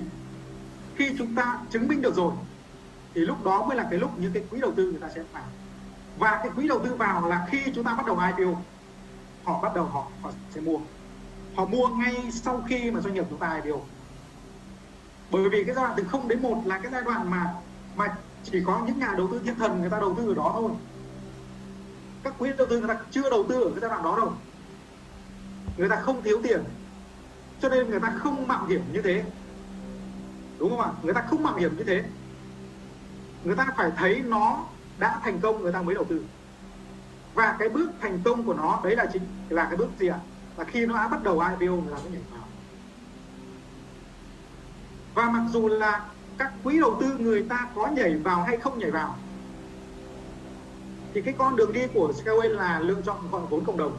Từ thời điểm năm 2014 chúng ta đã, đã đi cái con đường này. Và nguồn vốn nó đến từ đâu thì nó cũng là nguồn vốn đúng không ạ? Bây giờ bây giờ doanh nghiệp không phụ thuộc vào vào một tổ chức vào một quỹ nó giống cái câu chuyện của y hệt như là là cái ví dụ về dự án on web mà có thấy không? Tỷ phú Masayoshi Son của Nhật Bản, của Shopbank Nhật Bản, rót vào đó 2 tỷ đô, cuối cùng nó vẫn chết mà. Nó vẫn chết như thường. Tại sao? Tại vì cái dự án đó nó bị phụ thuộc vốn.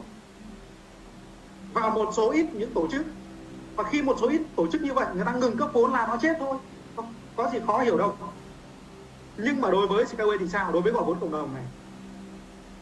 Cái thứ nhất, quyền lợi nó không bị tập trung vào những những cái quỹ đầu tư đó, những cái cá nhân, những cá nhân đó. Nó sẽ được chia đều ra cho cộng đồng. Và cái thứ hai, cộng đồng mỗi người chỉ bỏ ra một khoản tiền nhỏ thôi là cũng đã đủ đã đủ cái cái cái kinh phí để cho dự án phát triển rồi. Và chúng ta không bị phụ thuộc vốn vào một cá nhân nào cả. Cho dù là cho dù dù là ở Đức, không ai đầu tư. Thì Việt Nam vẫn đầu tư mà. Hàn Quốc vẫn đầu tư mà. Nigeria vẫn đầu tư mà, đúng không ạ? À? thì chúng ta không bị phụ thuộc vốn vào một tổ chức duy nhất. Và cái điều đó nó chứng minh rằng rất nhiều những cái dự án trong mùa dịch vừa rồi nó không vượt qua được, nó đã chết. Và thậm chí có những doanh nghiệp rất lâu năm rồi vẫn chết nhưng mà với Skyway thì sao chúng ta đạt được cái bước tiến mọi người đã thấy trong thời gian qua, đúng không ạ? Cái bước tiến rất là lớn. Thế thì ở đây là chúng ta thấy rằng là khi mà mọi người thường hay từ chối những cái gì nó đến với mình, khi cơ hội đến với mình thì mình không dám không dám không dám đón. Cái lý do duy nhất không dám đón là gì ạ? Là không hiểu được cái cơ hội đó nó có giá trị hay không mọi người có mọi người có mọi người có hình dung cái số này không? Trong đây có một vài một vài bạn thanh niên độc thân. Bây giờ có một cô gái rất xinh. Bắt đầu chủ động làm quen. Nhắn tin, hỏi thăm. Nếu như trong trường hợp không biết cô gái đó xuất thân như thế nào, tính cách ra sao, cuộc sống như thế nào, chắc chắn không bao giờ dám đón nhận tình cảm. Nhưng một khi mà đã hiểu được rõ cái cô gái đó rồi thì có đón không? Đón chứ. Không đón thì thằng khác nó nó nó đón mất. Mất. Đúng không? Thế thì đối với Skype cũng thế. Nếu như ai hiểu được, và nếu như ai hình dung được cái giá trị của nó, thì rõ ràng là họ chỉ cần, họ chỉ cần biết về nó thôi là họ đón ngay và cái bằng chứng nó nó đã thể hiện rất nhiều trong thời gian qua. Chúng ta thấy đúng không ạ? Ông tỷ phú Dubai, ông ấy có dạy không? Chúng ta đừng dạy người có tiền cách tiêu tiền ông ấy bỏ ra 25 triệu đô với đầu tư hết cái giai đoạn 11 4 tỷ cổ phần. Ông ấy có dạy không? Không, ông không dạy ông khôn đấy. Và rất nhiều anh chị nữa ở Việt Nam, người ta bỏ ra bao nhiêu ạ? Thậm chí là cả trăm tỷ chứ không ít đâu nhá. Cả trăm tỷ. Thế thì 100 tỷ có phải là tiền không? Tiền thì nhiều lắm chứ phải ít đâu. Ít người ta có dạy không? Người ta không dạy cứ ai kiếm tiền nhiều được là người đấy giỏi đúng không ạ? Cứ kiếm được nhiều tiền là giỏi. Và cái cái, cái câu chuyện này chia sẻ một chút nó vui vui này. Anh chị có thấy là trong công việc chúng ta thường hay phải đi phải đi uh, lách luật bằng cách là người ta gọi là bôi trơn đấy đúng không? Để cho công việc nó suôn sẻ. Bây giờ tôi đố người nào mà không có cách không có kỹ năng bôi trơn mà có thể luồn lách được như vậy đấy? Đúng không ạ? Cho nên là người ta giải quyết được công việc người ta phải có kỹ năng và người ta có được cái số tiền lớn là người ta phải giỏi. Chúng ta không nói đi ăn cướp. Đúng không ạ? Không nói đi ăn cướp. Ăn cướp cũng phải có máu liều chứ không phải bình thường người đi cướp được đâu. Cho nên là chúng ta khi mà chúng ta đã không hiểu vấn đề khi mà chúng ta đã không hiểu được cái giá trị của doanh nghiệp thì nó có tốt đến mấy chúng ta cũng không dám đón nhận. Không dám đón nhận đâu. Và uh, mọi người uh, mọi người có có cái câu hỏi nào tiếp không? Để vừa rồi không là nam sẽ chia sẻ tiếp cái chủ đề này. Chúng ta hãy đặt câu hỏi nhá trong quá trình nam chia sẻ vừa cứ đặt câu hỏi thoải mái. Chúng ta sẽ trao đổi với nhau nhá. Còn vừa rồi có một câu hỏi gì đó. Uh, chị uh, chị nhung có thể uh, có thể là chia sẻ giúp em được không? Em thấy vừa rồi có một câu hỏi. Đây chị có một câu hỏi tiếp chị muốn uh, trao đổi luôn ở trên uh, zoom đây ạ. À, câu hỏi được uh, hỏi như sau ạ à, anh hãy giải thích là tại sao um, GTI này là công ty mẹ và RSS là công ty bán cổ phần UST lại là công ty kiểm toán công ty mẹ à, anh có thể giải thích mối liên quan giữa ba công ty này Ok, ba công ty này thế này nhá. Ở trong tập đoàn Skyway nó sẽ có nhóm các công ty như sau. Nhóm nhóm các công ty thứ nhất đấy là nhóm các công ty có liên quan đến hoạt động gọi vốn và nhóm các công ty kỹ thuật. Đúng không ạ? Và nhóm các công ty kỹ thuật. Tức là nhóm những công ty sử dụng những cái đồng vốn nó gọi được ấy và GTI GTI đấy nó chính là công ty công ty mẹ của nhóm các công ty có liên quan đến hoạt động gọi vốn. Và bên dưới GTI ấy, GTI ấy, nó có ba cái công ty nhỏ ba công ty con. Đấy là nhóm các công ty holding. RSS1, RSS2 và RSS3 và nó sẽ ủy quyền trực tiếp cho các công ty holding này sẽ phát hành cổ phần đến với đến với nhà đầu tư. Và cái cổ phần này nó là cổ phần của gì ạ? Của tập đoàn chứ nó không phải là cổ phần của công ty nhỏ. Mà các anh dùng đâu ạ? Cái giá trị đó là cái giá trị chung của tập đoàn Skyway và ba cái công ty RSS này nó nó sẽ chiếm những cái vốn điều lệ tương ứng trong cái số vốn điều lệ mà GTI đã ủy quyền lại cho nó. Đúng không ạ? Ở trong cái sơ đồ ở trong cái sơ đồ chúng ta đã thấy rõ rồi. Trong cái sơ đồ đó mời hãy tìm hiểu kỹ cái sơ đồ nhé tìm hiểu kỹ cái sơ đồ trong cái vấn đề mà uh, cơ cấu của công ty.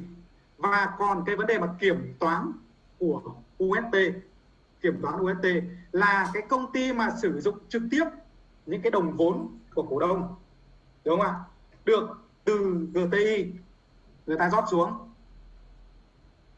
Thì đó là cái báo cáo tài chính hợp nhất. Chúng ta có hình dung được cái báo cáo tài chính hợp nhất không? Người có hiểu được cái chỗ mà mình, mà mà nam nam nam giải thích lúc trước không? Lúc trước có giải thích cái câu, cái cái cái thắc mắc này rồi đấy mặc dù mọi người chưa hỏi nhưng mà đã nói rồi. Thì nó chính là cái báo cáo kiểm toán của cả tập đoàn. Kiểm toán cái cách cái cách sử dụng tiền và dùng vào những việc gì. Và ở trên đó nó có cả cái báo cáo lưu chuyển tiền tệ rồi. Nó có cả trên đó rồi. Chúng ta hãy nghiên cứu lại cái báo cáo kiểm toán đó, mọi người nhé. Mối liên quan nào giữa ba công ty trên? Vừa rồi thì Nam chia sẻ như vậy mọi người có hình dung được không ạ? Hay là nó vẫn thì lơ tơ mơ mơ hồ ạ? Có khó hiểu vào lắm không?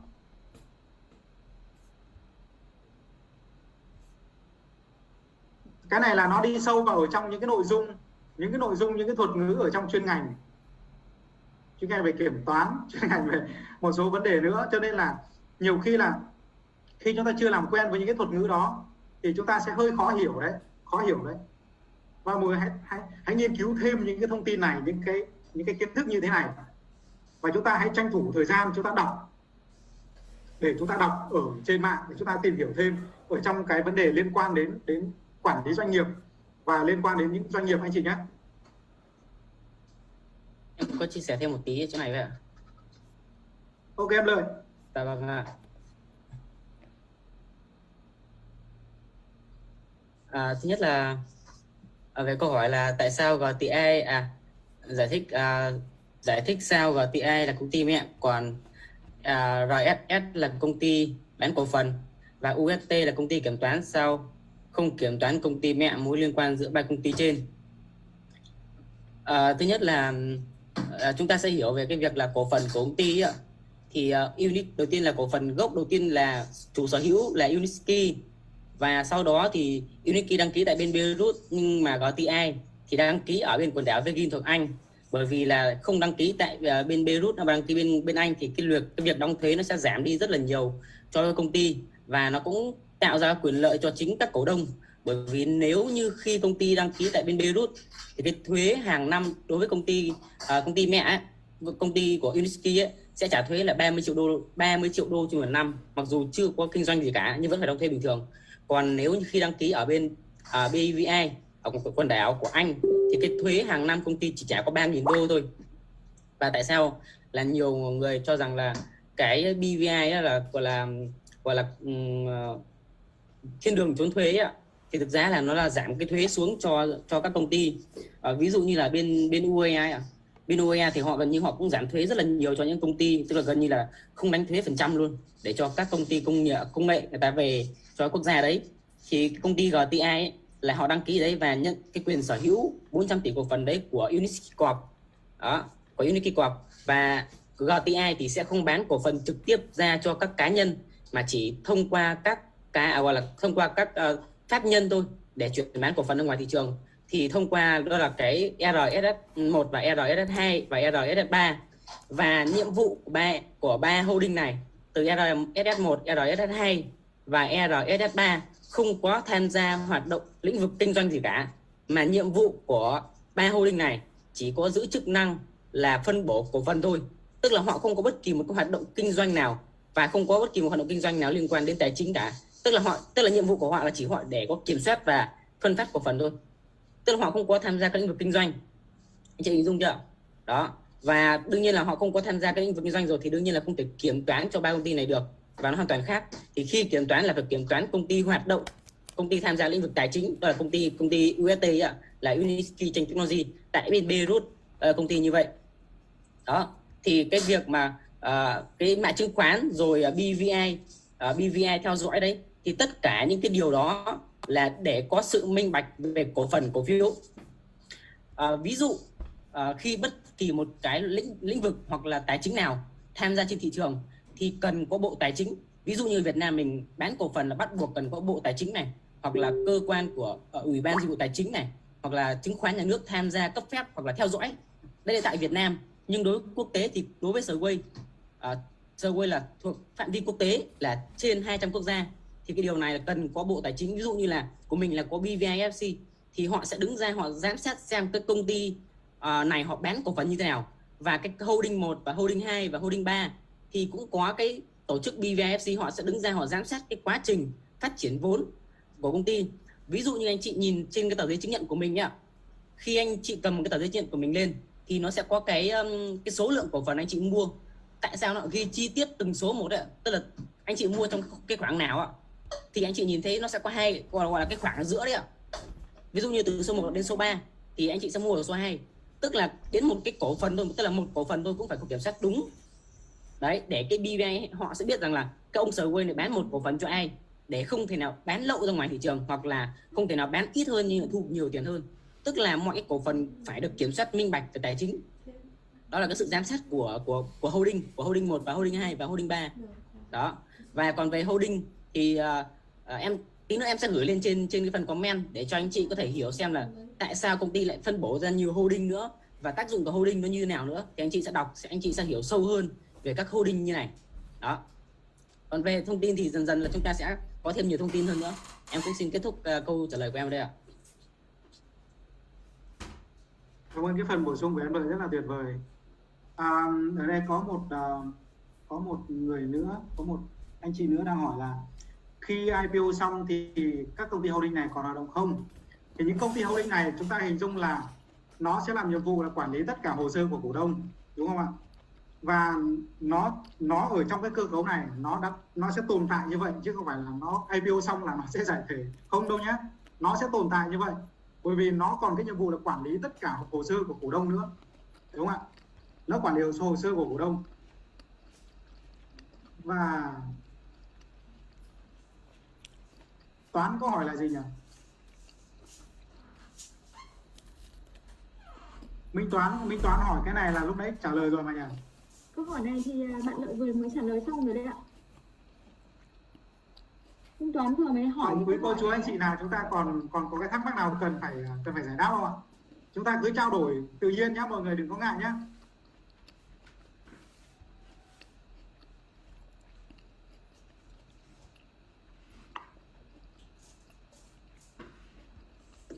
các cô chú anh chị có còn à, câu hỏi nào còn thắc mắc nữa không ạ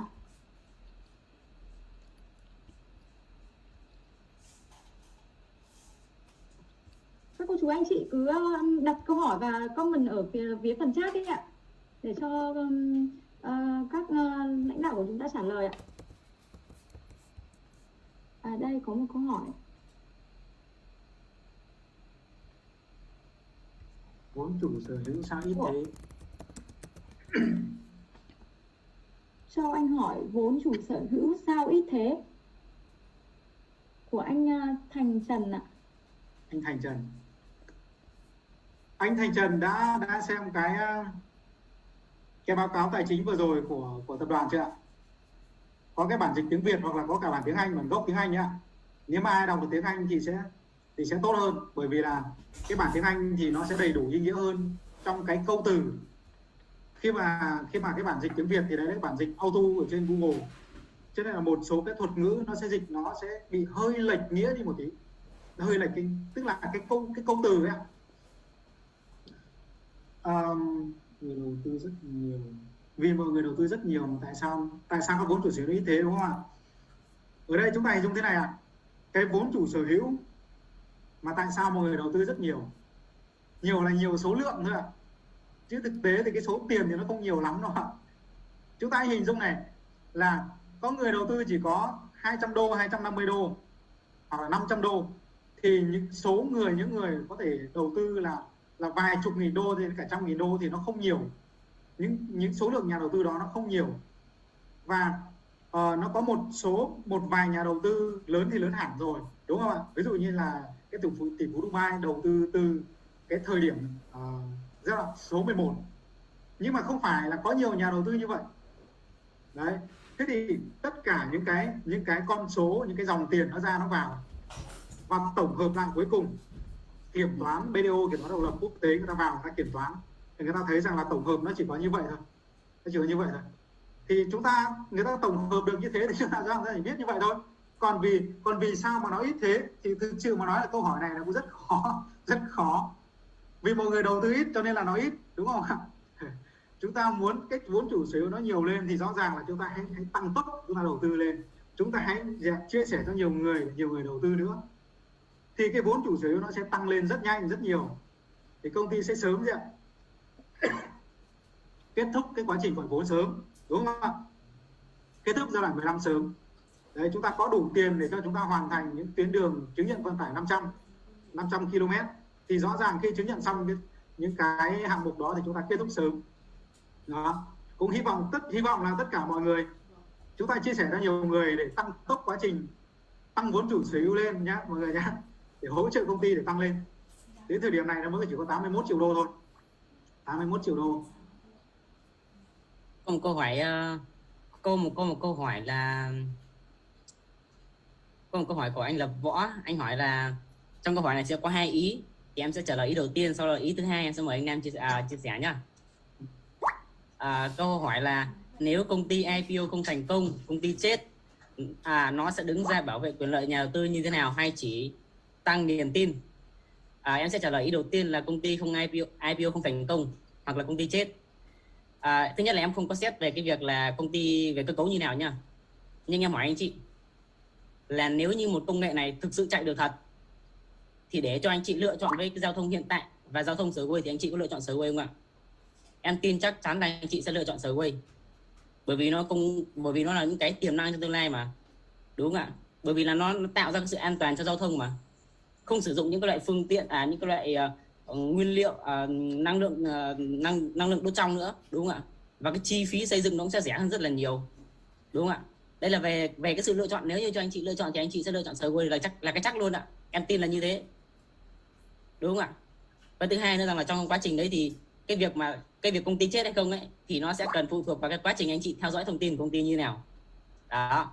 Và đến hiện nay thì nếu như mà nếu như ta còn bảo là sở chết thì em tin rằng là em tin một điều là anh chị chưa theo dõi nhiều thông tin về sở quê đó thì nếu như anh chị chưa biết thì anh chị có thể xem thêm trên cái kênh youtube uh, anh chị liên xuất lên youtube đấy hoặc là những người mà ủng hộ cho công nghệ sở quê đó rất là nhiều thông tin. Rất là nhiều thông tin rất rất là nhiều thông tin anh chị nhá. Và chúng ta hãy chịu khó theo dõi thông, thêm thông tin nhiều hơn. Còn sang cái ý thứ hai là ai sẽ đứng ra bảo vệ quyền lợi của nhà đầu tư đúng không ạ?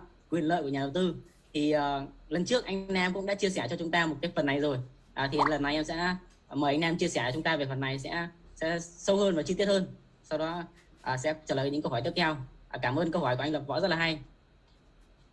Xin mời anh Nam ạ. Không biết là anh Lập đã đầu tư chưa? Nếu mà anh Lập đầu tư rồi thì anh anh anh Lập um, chưa tìm hiểu về cái hợp đồng vay chuyển đổi ở trong văn phòng cá nhân của mình đúng không ở trong cái hợp đồng vay chuyển đổi trong các văn phòng cá nhân của mình ấy ở số cái điều 19.1 quy định rõ rồi. Quy định rõ rồi. Là khi mà có tranh chấp về mặt quyền lợi giữa nhà đầu tư và bên phía doanh nghiệp thì nó được giải quyết ở đâu và giải quyết như thế nào? Luật pháp nào đứng ra giải quyết? Thì trong đó nó quy định rõ luôn là nó sẽ được giải quyết tất cả mọi tranh chấp ở tòa án trọng tài quốc tế ở tại London. Nó có ở trong cái hợp đồng rồi đấy ạ. À. tại mọi người không tìm hiểu thôi. Nó có hết, không có cái gì không có trong đấy. Vậy thì ở đây là cái luật đứng ra giải quyết cho chúng ta, đấy là luật pháp của nước Anh. Bởi vì sao? Bởi vì GTI là nó đang, nó đăng ký ở Anh. Và chúng ta đầu tư là chúng ta nắm cái cổ phần từ GTI thì rõ ràng là luật pháp ở Anh là cái luật pháp sẽ đứng ra để mà giải quyết mọi cái tranh chấp. Kể cả là cái vấn đề mà chúng ta làm ảnh hưởng đến công ty nhá. Nếu công ty nó kiện, nó cũng sẽ kiện ta, chúng ta bằng luật pháp của anh đấy, và nó giải quyết bằng toán, bằng cái cái cái à, tòa án quốc tế ở tại anh đấy nhá. Không phải là một mình, chúng ta chỉ quan tâm đến cái là tôi mất tiền thì tôi tìm ai đâu. Nếu như chúng ta làm ảnh hưởng đến công ty làm một cái gì đó ảnh hưởng đến công ty. Thì công ty nó cũng sẽ kiện chúng ta bằng luật của anh đấy đừng có đùa. Có người dung là cái này không ạ? À? nó phải có, nó phải có đôi bên chứ. Quyền lợi và nghĩa vụ của đôi bên. Chứ không có cái chuyện là tôi đầu tư cho anh thì anh trả thì thì tôi muốn làm cái gì cũng được. Không có cái chuyện đó đâu nha. Đó gọi là hợp đồng kinh tế thì nó phải rõ ràng. Và chúng ta hãy tìm hiểu lại ở trong cái cái hợp đồng vay chuyển đổi trong tài khoản cá nhân của chúng ta nhé. Để mọi người rõ hơn về tất cả mọi vấn đề.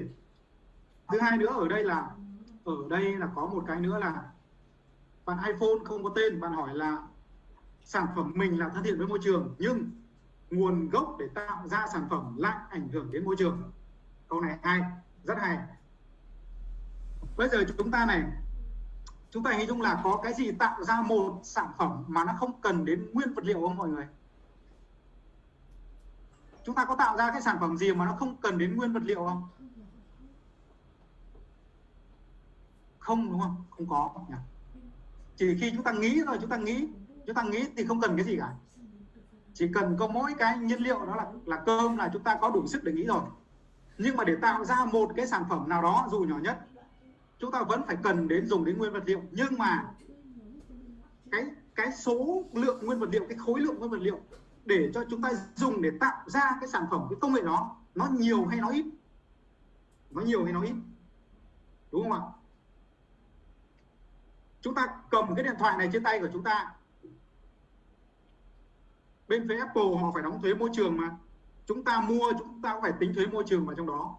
Bởi vì trong này nó có chứa vàng trong này nó có chứa silic trong này nó có chứa rất nhiều cái hợp chất. Mà những cái đó lấy từ đâu? Phải khai thác. Nhưng cái vấn đề là cái công nghệ của chúng ta ấy, là chúng ta sử dụng bao nhiêu cái khối lượng? Cái gì ạ? Cái vật liệu để chúng ta tạo nên một cái hệ thống này chúng ta chỉ tính riêng cái kết cấu đường thôi, chúng ta so sánh lại với những cái cây cầu đường bộ xem. Hạ tầng nào dùng nhiều nguyên vật liệu hơn ạ? Hạ tầng nào dùng nhiều hơn ạ? Kết cấu đường bộ thì dùng rất nhiều bê tông, đúng không? Rất nhiều xi măng. Rất nhiều thép. Thế thì cái điều đó là gì ạ? Chúng ta, những cái hạ tầng truyền thống đó nó ngốn rất nhiều tài nguyên của thế giới. Là để có nhiều xi măng thì phải khai thác đá mà để điều chế ra được xi măng thì sao? Đấy nó phải có những cái lò luyện. Mà lò luyện nhiều thì nó tạo ra nhiều khí thải carbon. Cho nên là để xây dựng cái hạ tầng giao thông skyway thì chúng ta đã cắt giảm đi rất nhiều những cái nguyên vật liệu đó. Thì đồng nghĩa với việc là chúng ta không dùng không dùng xi măng nữa. Nếu có nó cũng chỉ ít thôi. Thì có phải là nó nó thân thiện với môi trường hơn tất cả những cái loại hình khác không? Thứ hai nó sử dụng điện tái tạo. Nó sử dụng năng lượng điện tái tạo. Đúng không ạ? Xin lỗi mọi người. Nói nói to, nói nhiều quá, đứng trước cái quạt. Nó thấp vào họng nó sử dụng năng lượng điện tái tạo. Thì rõ ràng chúng ta không cần phải dùng đến cái gì ạ? Không cần phải dùng đến những cái nhà máy năng lượng điện, đốt than đá để tạo ra điện nữa. Nó không cần đến những cái điện, những cái con đập thủy điện nữa đúng không ạ? Chỉ cần những cái trạm điện, những cái cánh đồng điện gió, những cái cánh đồng năng lượng điện mặt trời, nó cung cấp trực tiếp cho cái hạ tầng đó đấy. nó nó vận hành. Thì có phải là nó thân thiện với môi trường hơn rất nhiều không? Nó không xả cái khí thải carbon ra môi trường. Và cái việc xây dựng nó cũng không phá hủy môi trường. Cái đó là chúng ta so sánh được. Chứ không, tuyệt đối trên thế giới này không có sản xuất ra cái sản phẩm gì mà không phải dùng đến nguyên vật liệu, đó là điều không thể. Vấn đề là dùng nhiều hay ít, đúng không ạ? Chúng ta hãy so sánh một cách khách quan nhé so sánh một cách khách quan. Skyway thân thiện với môi trường, không có nghĩa là nó không sử dụng vật liệu gì. Anh chị ạ, không có nghĩa là nó không sử dụng vật liệu gì. Ở đây nó sử dụng ít hơn thôi. Và và nó vận hành thì nó không tạo ra khí thải carbon. Tất nhiên trong quá trình sản xuất thì nó vẫn phải có cái gì ạ? Cái rác thải chứ, đúng không? Nó vẫn phải có rác thải chứ, làm sao mà không có được? Ok, câu, cái câu trả lời này thì mọi người có thấy ổn không? Có phải bổ sung cái gì không? Ổn quá anh ạ, thực ra nó cũng dễ mà. Bây giờ bây giờ làm cái gì cũng cần đến nguyên liệu, vật liệu.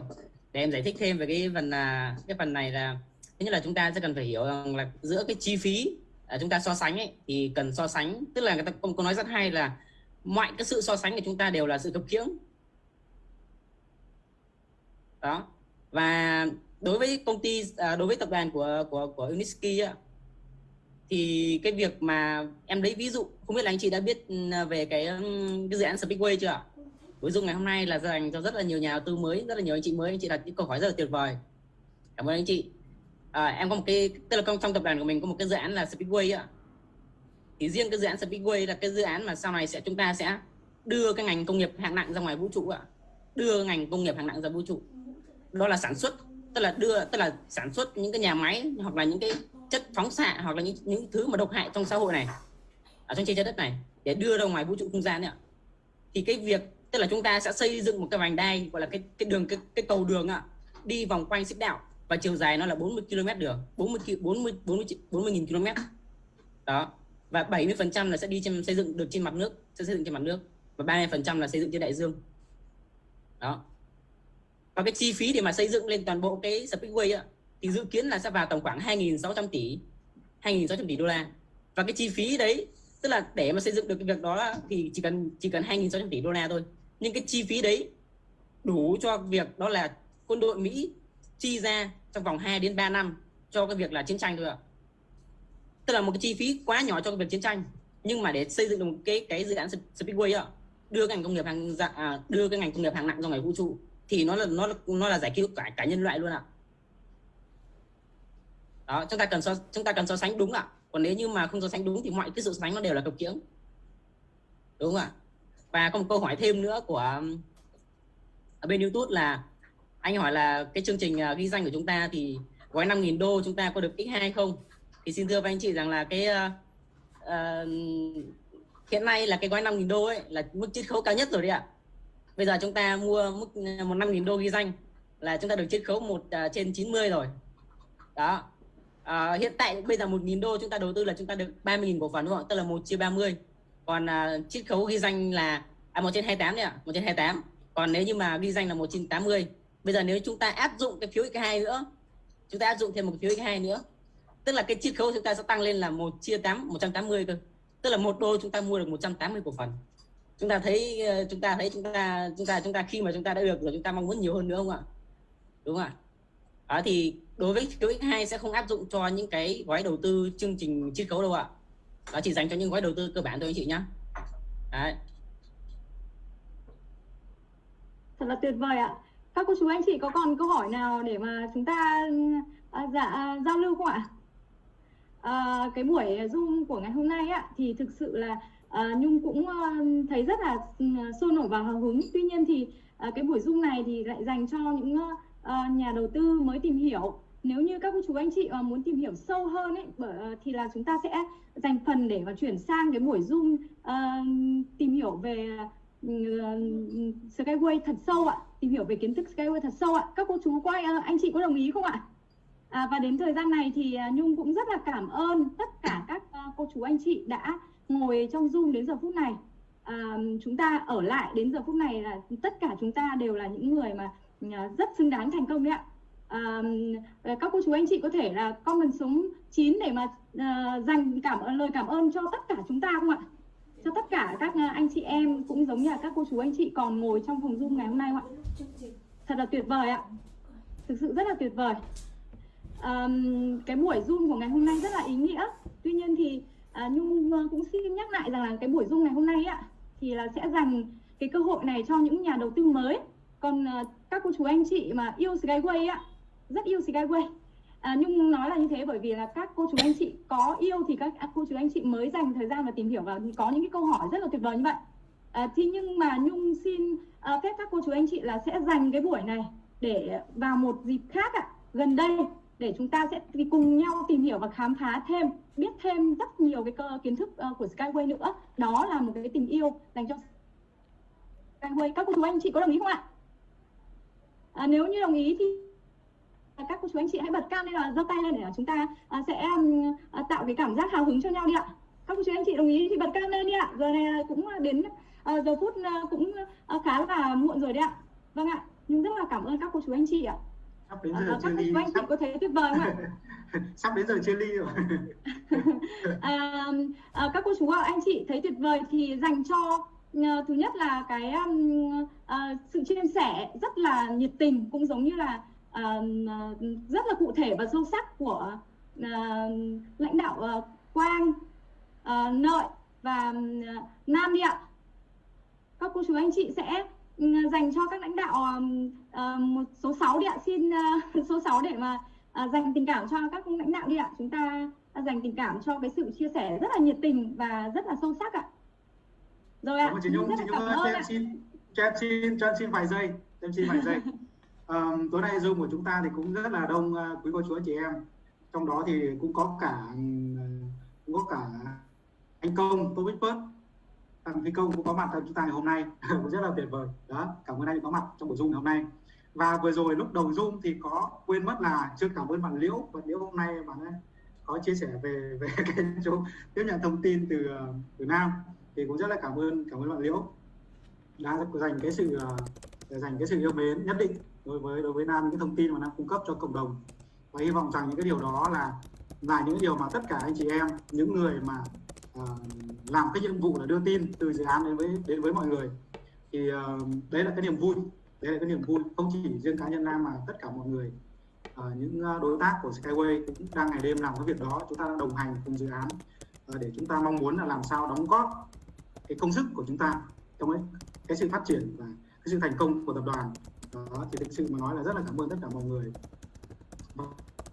Và xin cảm ơn tất cả quý cô chú anh chị em chúng ta ngày hôm nay đã dành thời gian ngồi đến bây giờ để cho chúng ta cùng tìm hiểu, cùng chia sẻ với nhau những cái thông tin về Skyway, về dự án này, anh chị nhé. Và hy vọng rằng là sau sau cái buổi tối ngày hôm nay thì anh chị sẽ tìm hiểu kỹ hơn nữa để cho chúng ta có được những cái thông tin chúng ta cần thiết và và chúng ta sẽ nắm được cái cơ hội này một cách tốt nhất. Bởi vì đây là một cơ hội thực sự là khó mà bỏ qua với những ai nhìn ra vấn đề ngay từ đầu. Đó, hy vọng rằng là chúng ta hãy cùng có trong tay mình cái giá trị này.